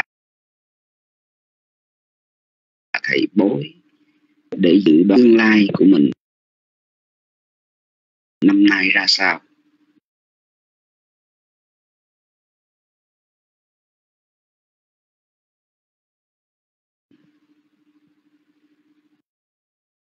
Thì à, tốt thì xấu có những cái loại bình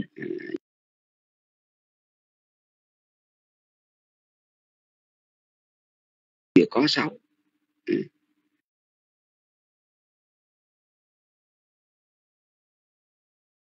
À, thường là như vậy. Tức là cái kết quả của của quẹ xâm hay là kết quả của quẹ uh, bối toán cũng chỉ là như vậy thôi. Đây đó chúng tôi nghĩ rằng muốn thì ai cũng mong muốn mình được bình an được được nhưng mà rồi lại mình có một cái điều đó là mình muốn sôi rồi tìm đến cái trong một năm tới đây mình được cái gì? À,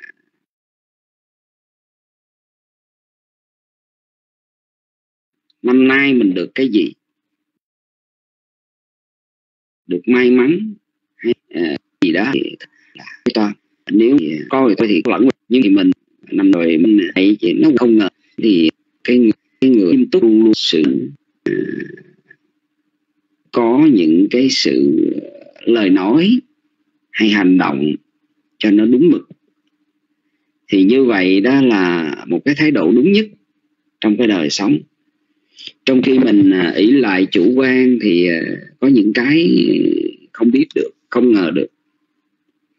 Còn nếu như à, mà người ta nói mình ông thầy bối hoặc là quẻ xăm nói mình xấu đó, thì có lẽ là mình rất lo sợ không biết ngày đó, tháng đó, mà mình biết là trong năm một một năm có 12 tháng, mà lỡ như là cái quẻ xăm không tài bói bảo rằng mình tháng đó mình xui á, thì có lẽ là mình cũng lo sợ lắm chứ.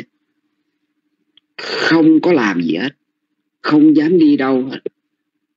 Mà sự sự thật là quý vị thấy rằng mình tạo cái điều bất thiện tạo cái nhân bất thiện thì đưa đến cái quả khổ sầu mình tạo những cái nhân thiện thì dẫn đến cái cái quả an lành ở trong cuộc sống. Đằng này mình không làm gì hết, thì cũng chưa chắc. Bởi vì chúng ta sống thì nó có quá khứ, hiện tại và tương lai những gì chúng ta sống quá khứ có thể là do nghiệp của quá khứ. Mà quả thật là do nghiệp của quá khứ cho nên chúng ta có nên một cái đời sống này.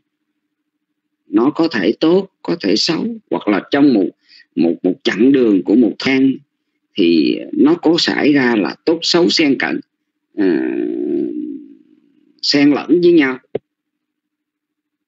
Hoặc là có những khi chúng ta thấy nó có thuận lợi có khi thì mình gặp những cái sự bất trắc thì điều đó nó cũng tùy thuộc vào cái cái cái cái nghiệp của mình quá khứ nữa.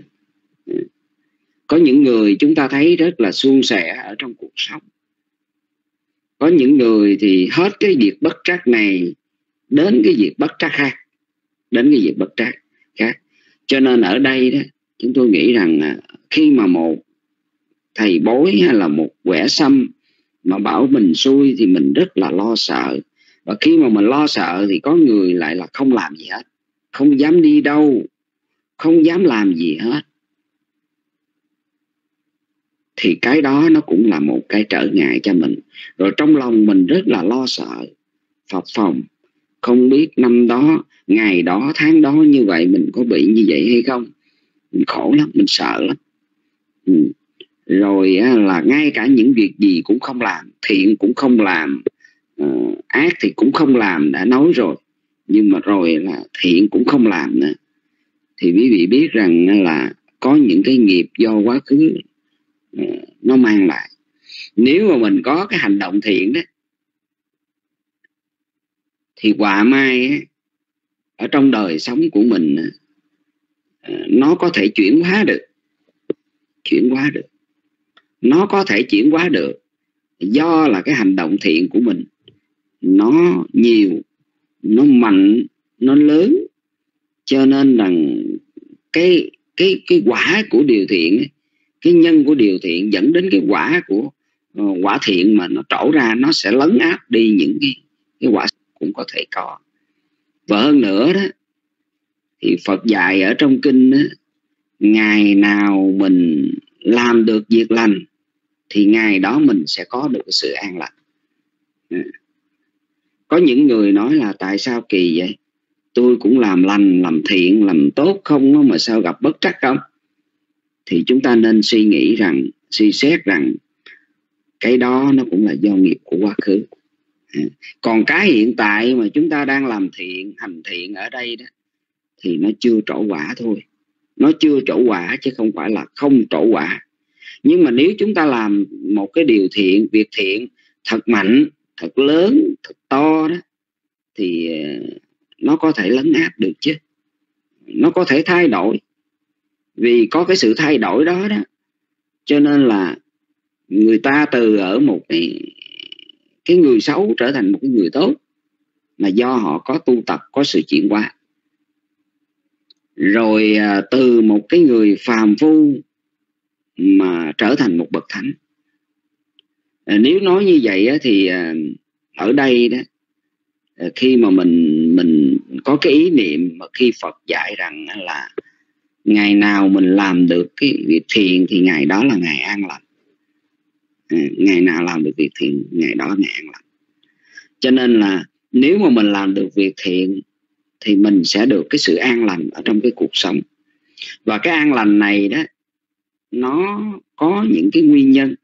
À, cái thứ nhất là cuộc sống đời sống của mình hết sức là cẩn thận trong cái việc hành động lời nói suy nghĩ ở trong cái cái, cái, cái đời sống hàng ngày của mình. Mình suy nghĩ những điều tốt tránh đi những cái suy nghĩ những điều xấu có nói năng thì tránh đi à, nói năng những điều xấu, mà mình nên nói năng những điều tốt. Tại sao trong ngày tết người ta có kiên cử nói nhau những lời không tốt trong ba ngày tết? Giá như là mình kiên cử luôn suốt cả năm thì có lẽ là tốt hơn. À, mình chỉ có kiên cử được trong ba ngày tết thôi. Ờ, ba ngày tết đầu năm của một năm mới đầu ừ, tháng giêng và ngày mùng 1, mùng 2, mùng 3 là đầu năm của của một tháng tháng giêng. Rồi là cũng khởi đầu của một mùa xuân ờ, trong bốn mùa tám tiết.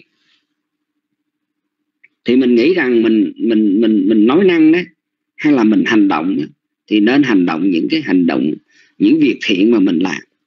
Dạ mình làm cái gì đó thì mình có những cái hành động thiện mà mình làm.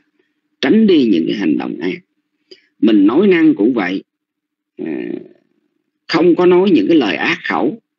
À, không có nói lời những lời dối trá. À, không nói những lời điêu hoa. À, khi mà mình mình mình mình nói những cái lời mà à, chân thật mình nói những cái lời à, chân chánh Ờ, thì luôn luôn có được cái sự an lành. Bởi cái lời nói của mình là lời nói chân chánh. Mình suy nghĩ cũng vậy. Mình suy nghĩ những cái gì nó tốt để rồi cái tâm của mình hướng thiện. Nha. Suy nghĩ uh, cái gì nó nó thiện uh, để rồi cái lời nói hành động của mình tâm của mình luôn luôn hướng đến cái điều thiện để mà mình uh, lập ra cái là lời nói và hành động của mình một cách đúng đắn. À, như vậy thì ừ, chúng ta thấy rằng mọi người sống ở trên cuộc đời này đó thì nó nó ảnh hưởng tới nghiệp nhiều lắm à, cả thiện nghiệp và bất thiện nghiệp.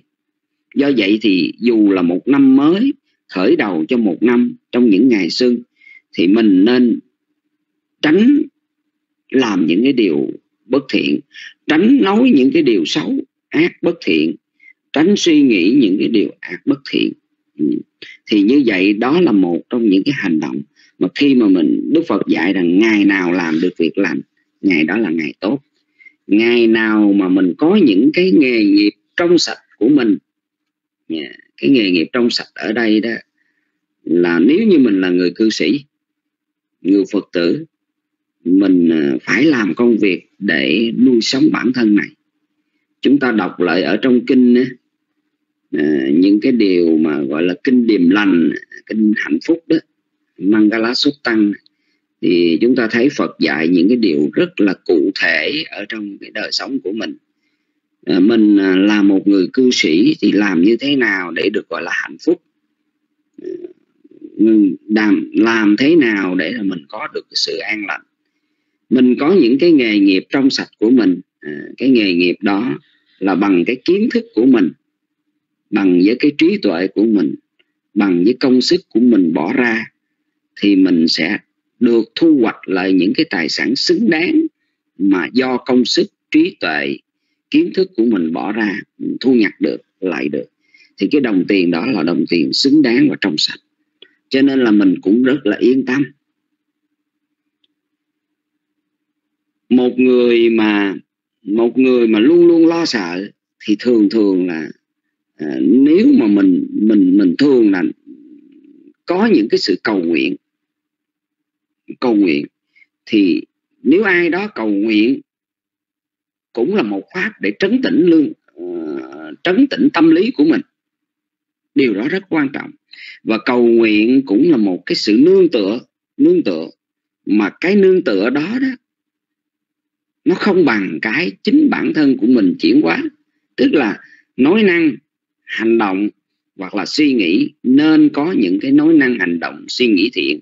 À, để rồi trong suốt một năm mình sẽ có được cái sự an lành ở trong đời sống. Nếu như mà mình mình có gặp bất trắc thì mình nên suy xét rằng điều đó là do quả của nghiệp bất thiện từ quá khứ để lại.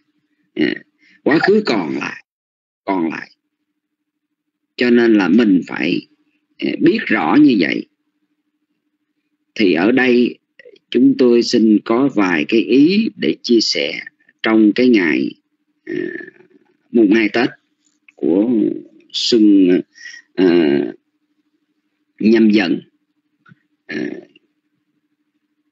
chúng tôi xin được dứt lời. Con kính thỉnh thượng tọa giác đẳng trở lại.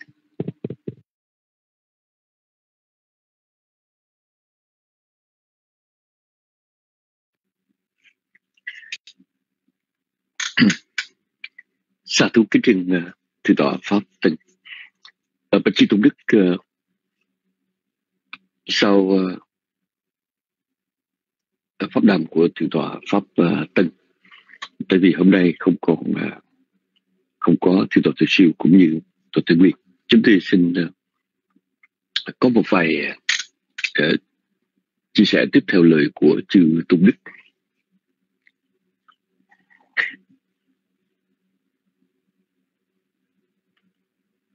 Chúng ta suy niệm về cuộc sống đó, thì ờ, rất là dễ dàng để nhận thấy rằng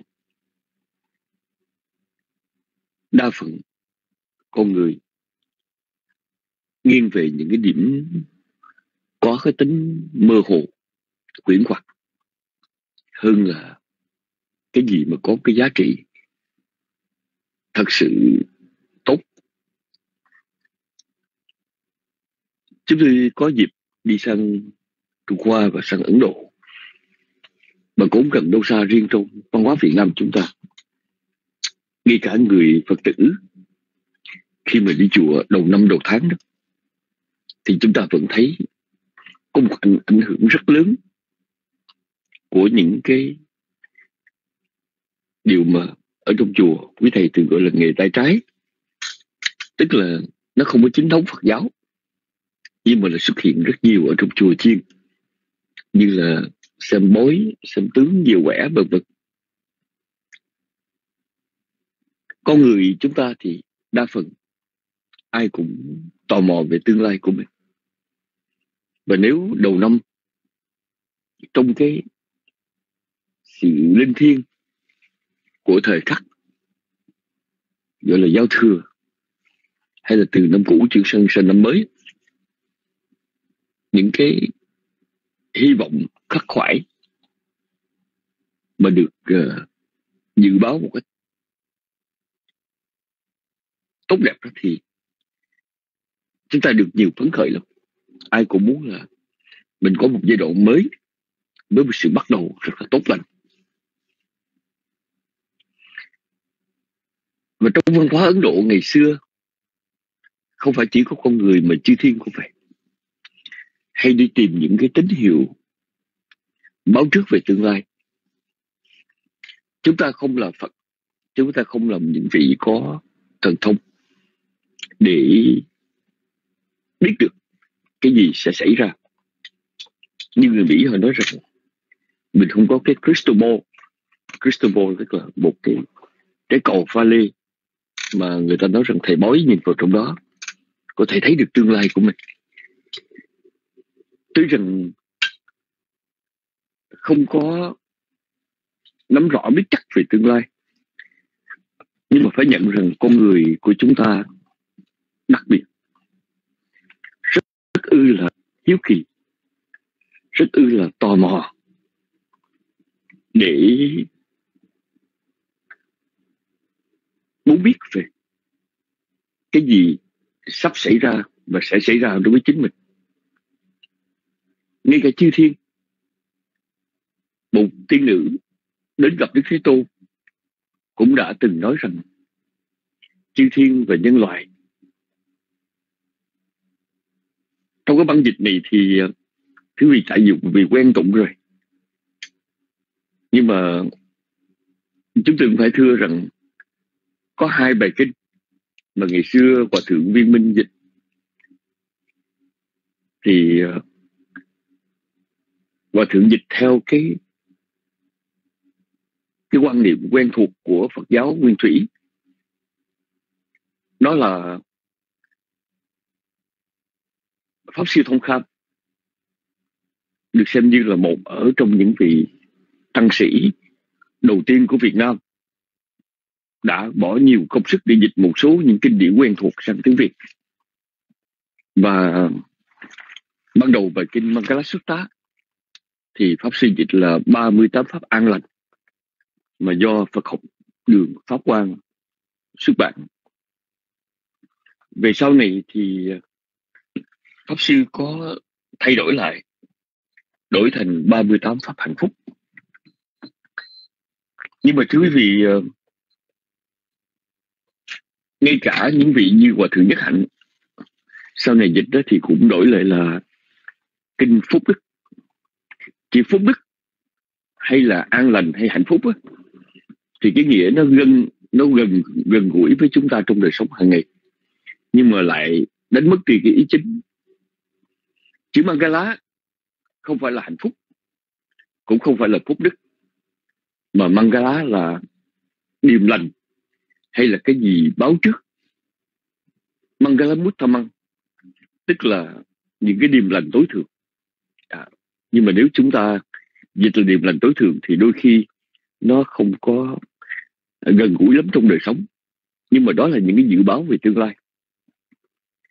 Ví dụ như hồi còn nhỏ mà chúng tôi nghe người ta nói mình nằm chim bao thấy phân là thấy hay là mình uh, uh, có những người mà ta nói con dáng và tự nhiên nó bay vào ở trước mắt chúng ta là cái điềm lành chẳng hạn thì tôi nghĩ rằng quý vị trong cuộc đời chắc cũng nghe nhiều như vậy. Thì một vị tiên nữ đã đến hỏi đức thế tôn rằng chư thiên và nhân loại á, thì đều mong cầu thấy được những cái điềm báo cắt trường, về chứ xin đức thế tôn từ bi giảng giải cho chúng con biết cái gì là điềm lành tối thượng.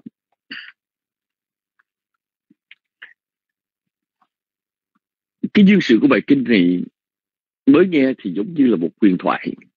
Tại vì bài kinh không phải khởi đầu từ một cái bối cảnh sống hàng ngày bình thường, mà là do một vị thiên đã đến bạch hỏi đức phật. Từ cái dương sự có tất cách như là thần thoại đó, chúng ta lại nghe những lời dạy của đức phật là cái gì rất là gần gũi trong đời sống hàng ngày. Đức thế tôn ngài đã dạy 10 bài kệ mà ở trong đó được người ta chia ra 38 hay 37 pháp, thường là họ chia 38 pháp. Thì thưa quý vị 38 điều này đó được Đức Phật Ngài dạy trong 10 bài kệ. Và xưa và nay đó chúng ta nghe được giảng những điều này, từng điều một. Nhưng mà quả thực là mỗi bài kệ đó, nó đều có chung một cái thể tài. Dĩ nhiên là những điều này nó tùy vào mỗi người.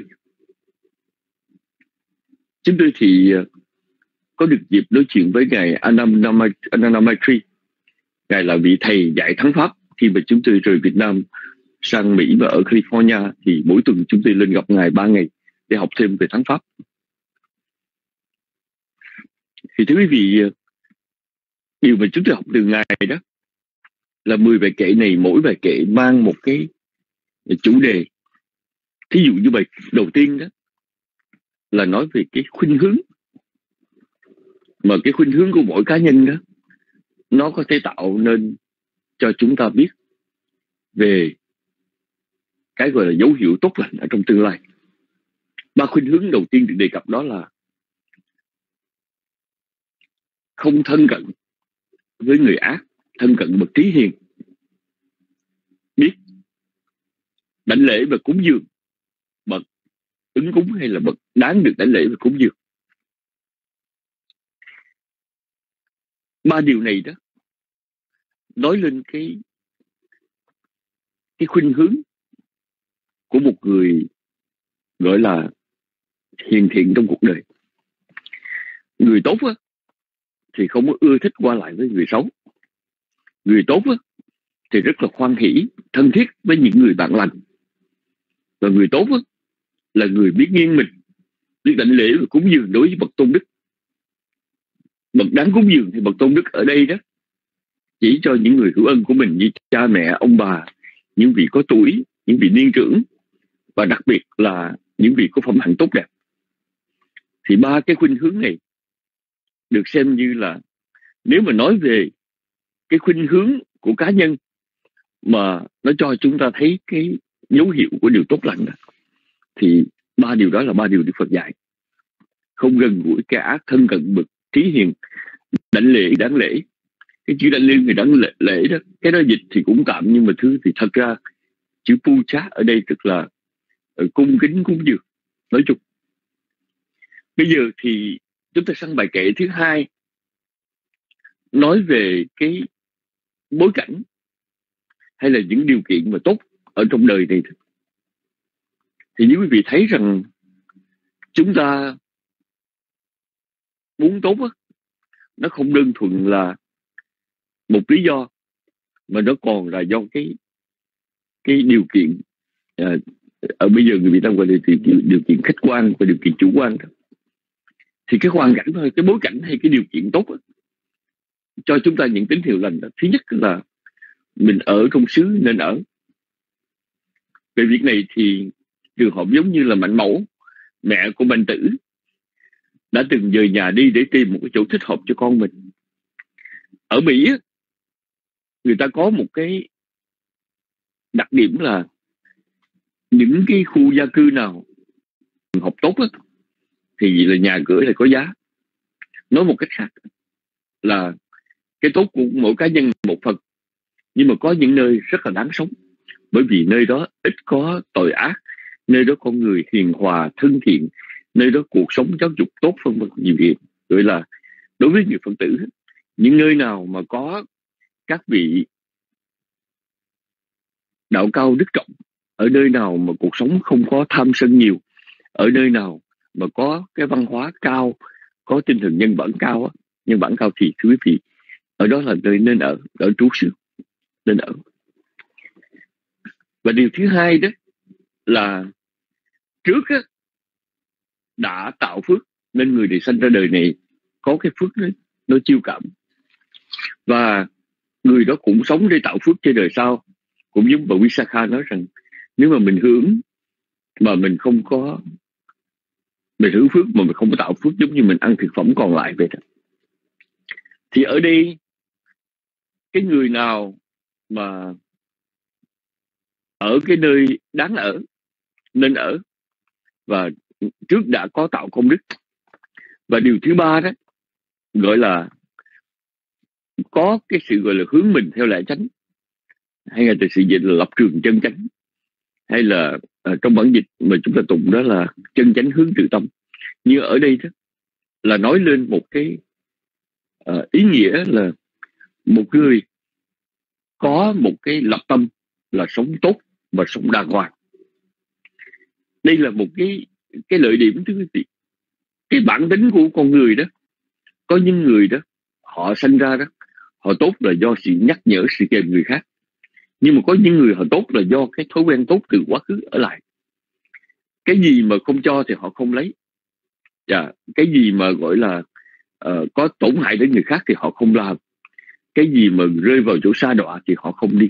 Thì cái đó gọi là một cái ờ, uh, hướng mình theo lẽ chánh tức là sống có một cái định hướng tốt mà định hướng nó phát xuất từ cái thói quen uh, có những người họ sống đàng hoàng là từ hồi còn tấm bé họ đã biết sống đàng hoàng rồi.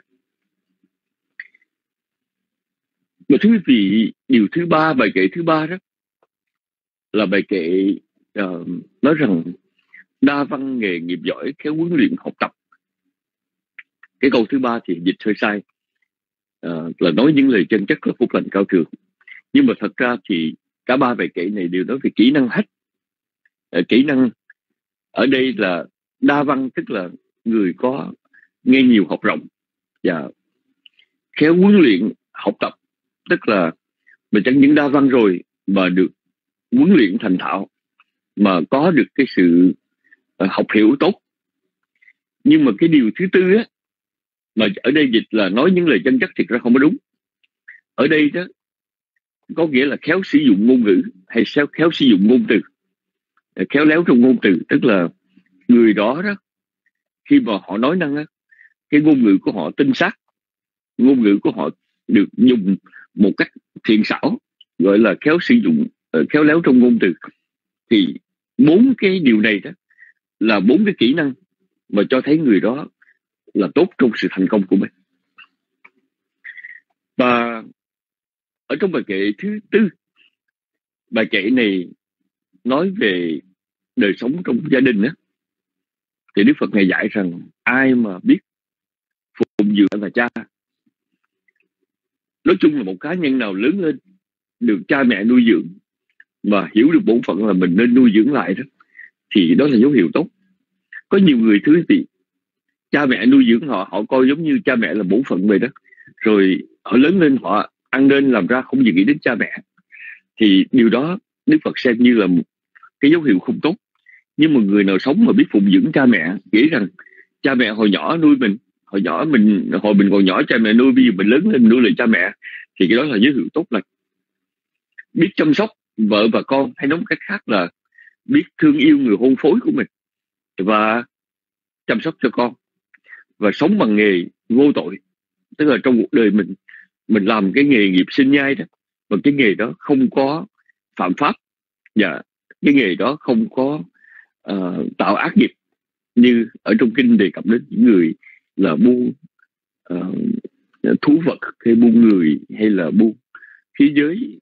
Và chúng ta nói là ngoài cái ngoài những cái việc làm mà trái thiện nghiệp thì chúng ta cũng không có làm cái nghề gì mà gọi là trái với uh, trái với cái luật pháp hiện hành.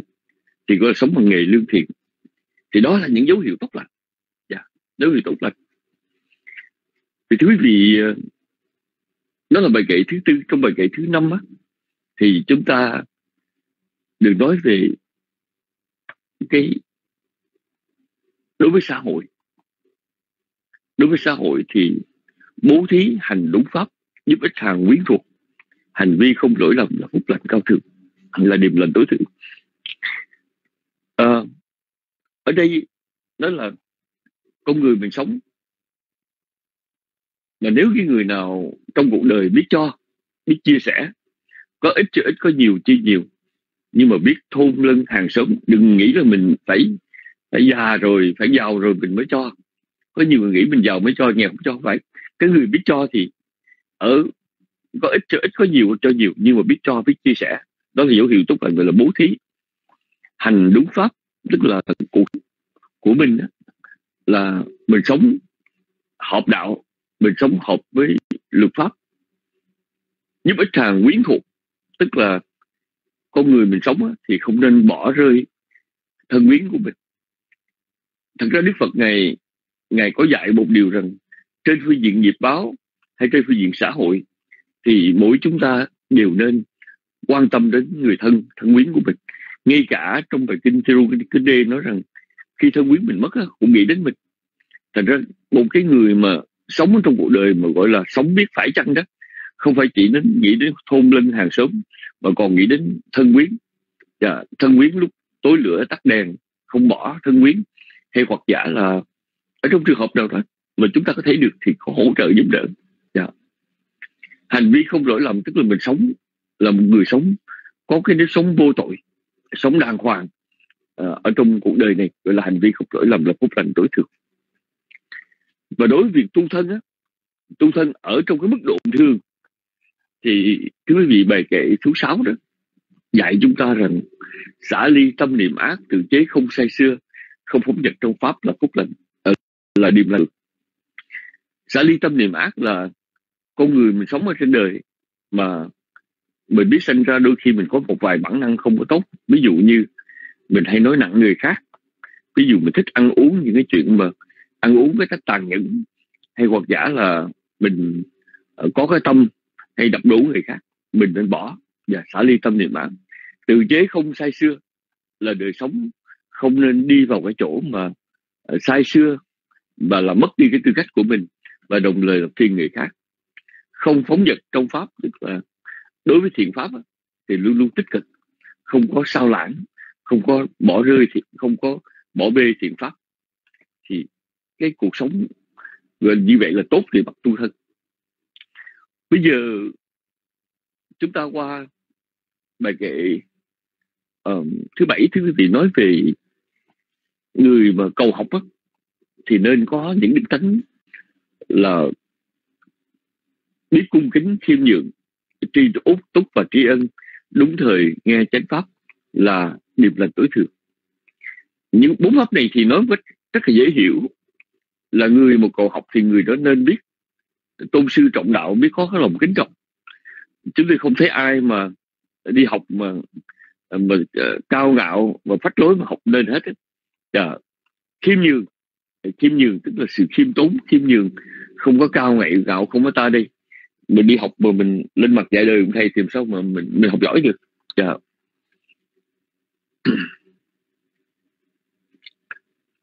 tri túc và tri ân cái người đi học đó, là người ở đây nó có cái chữ tri túc rất là thú vị.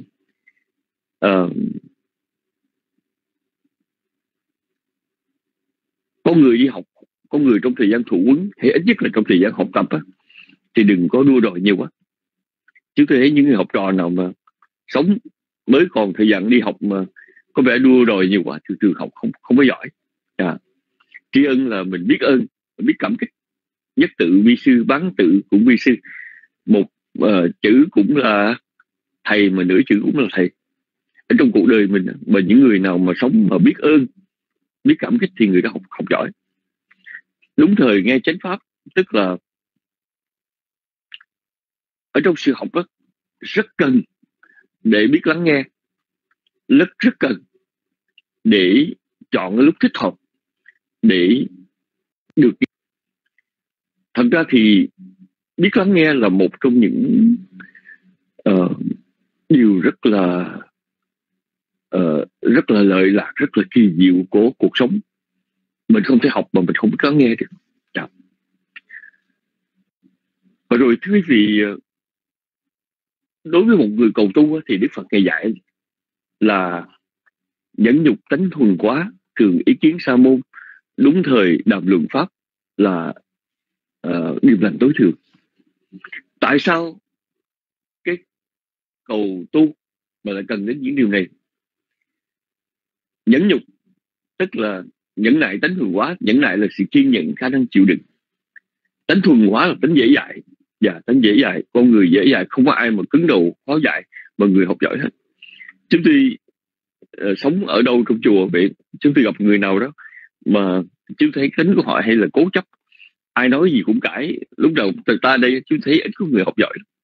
Mình mình là người đi học á, thì mình chẳng những biết lắng nghe rồi mà mình mình trong cuộc tu là mình phải, mình ờ, bớt đi cái cái sự cứng đầu khó dạy lại.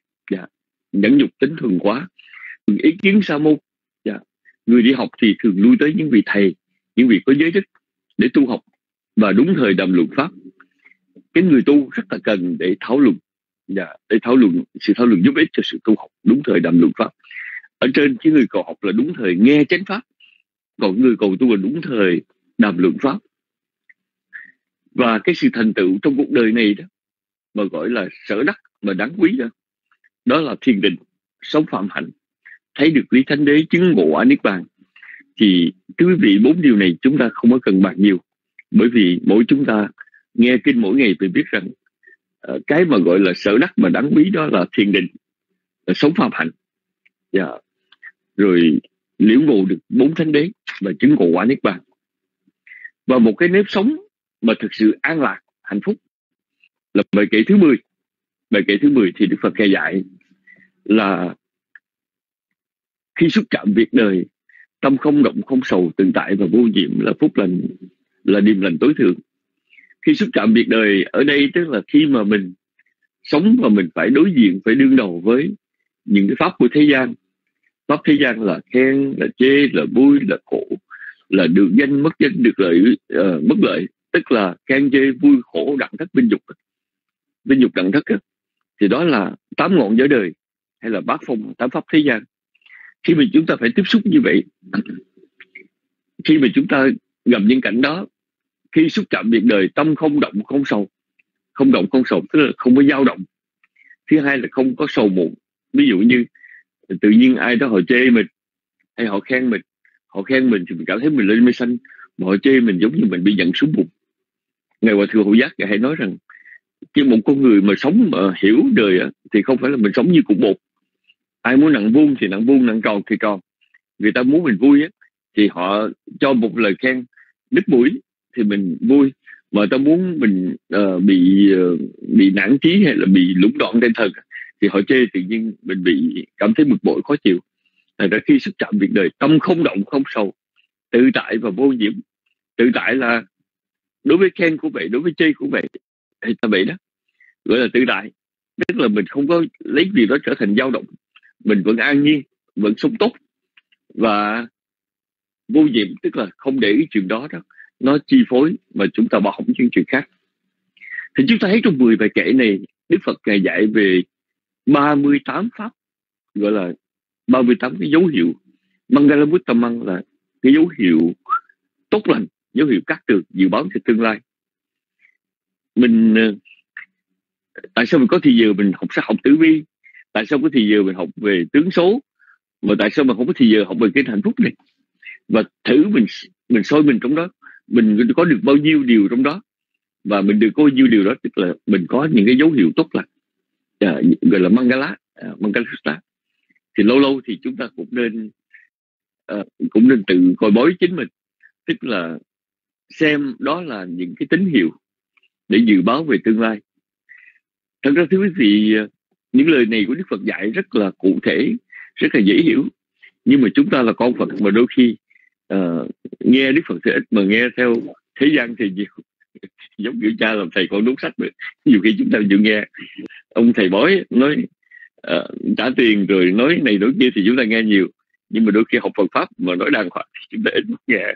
Tại vì chúng ta nghĩ chúng ta khôn quá không cần nghe Phật pháp nữa. Mà còn chuyện ông thầy bói nói thì cũng nói hay quá mình mình thích nghe. Nhưng mà quá thật là khi chúng ta nghiệm cho kỹ thì thấy đó là một cái điều rất là bạc phước. Chúng ta nếu trong cuộc đời này mình không có chánh kiến không có chánh tính mình không nhìn sự vật nó một cách sáng sáng suốt hơn. Một người ở đâu nói những chuyện mà không có căn cứ thì chúng ta rất dễ tin. Mà người ta nói lý lẽ đàng hoàng thì người ta rất là uh, uh, ơ hờ rất xem như chuyện đó không có gì. Do vậy uh, thưa quý vị uh, trong những cái ngày đầu năm khi mà con người Việt Nam của chúng ta đa số người Việt Nam chúng ta đa số là đến chùa hay là trong những giây phút thiêng liêng của à, uh, cái nguyên đáng mong cầu tìm thấy những cái dấu hiệu tốt lành cho tương lai qua cái những lúc sinh xong qua những cái uh, quẻ bói đi thăm coi theo thầy bói. Ở Việt Nam chúng tôi nhớ ngày xưa người ta còn có à, uh, lu gà lên thờ bói nữa thưa quý vị. Lu gà tức là con gà rồi họ luộc rồi họ xem cái chân của nó xem cái màu của nó. Ừ, khi không mới làm con gà xong luộc xong nhìn con gà đi coi về tương lai kể ra cũng cực khiếp cho chúng ta thật. Nhưng mà chuyện đó là chuyện thật. Chuyện đó là chuyện uh, gì xảy ra trong cuộc đời. Trong lúc đó những điều gì Đức Phật dạy ở đây mặc dù ngài giảng cho chư thiên nhưng mà chúng ta ngồi chúng ta suy nghĩ 38 điều này có điều nào khoan đường không? Dạ, có điều nào trong đó là điều không hợp tình hợp lý không? Dạ. và chúng ta có ờ, quy y Phật có đương tựa Phật và có tìm sự sôi sáng ở Đức Phật hay không? Thì thưa quý vị uh, Đức Phật để là cho chúng ta một gia tài gia tài lớn lắm và hướng được bao nhiêu là tùy ở mỗi chúng ta hết. Rất mong là uh, mỗi mỗi người phật tử sống trong đời này luôn luôn để tâm tư nhiều hơn để ôn nhắc suy nghiệm về lời dạy của đức phật và đem áp dụng điều đó trong đời sống hàng ngày và đó cũng là một ở trong những điểm lành những dấu hiệu cắt tường cho tất cả chúng ta. Thưa quý vị như vậy là chúng ta đã trong định ờ, sinh hoạt ngày mùng 2 Tết. Ngày mùng 3 thì chúng tức là ngày mai ngày thứ năm thì chúng ta vẫn uh, chúng ta vẫn tiếp tục uh, những ngày uh, sinh hoạt Tết Nguyên Đán. Và ngày mai này thì chúng ta có pháp thời tân niên của thượng tọa pháp tân. Bây giờ thì xin được kết thúc chương trình sinh hoạt hôm nay tại đây. Uh, kính trường chư tôn đức đã vào rung để thuyết giảng đến lễ quý ngài. Xin chào tạm biệt phật tử. Chúc tất cả một ngày an lành một đêm an lành. Hẹn gặp lại trong chương trình ngày mai. Nam mô bích thầy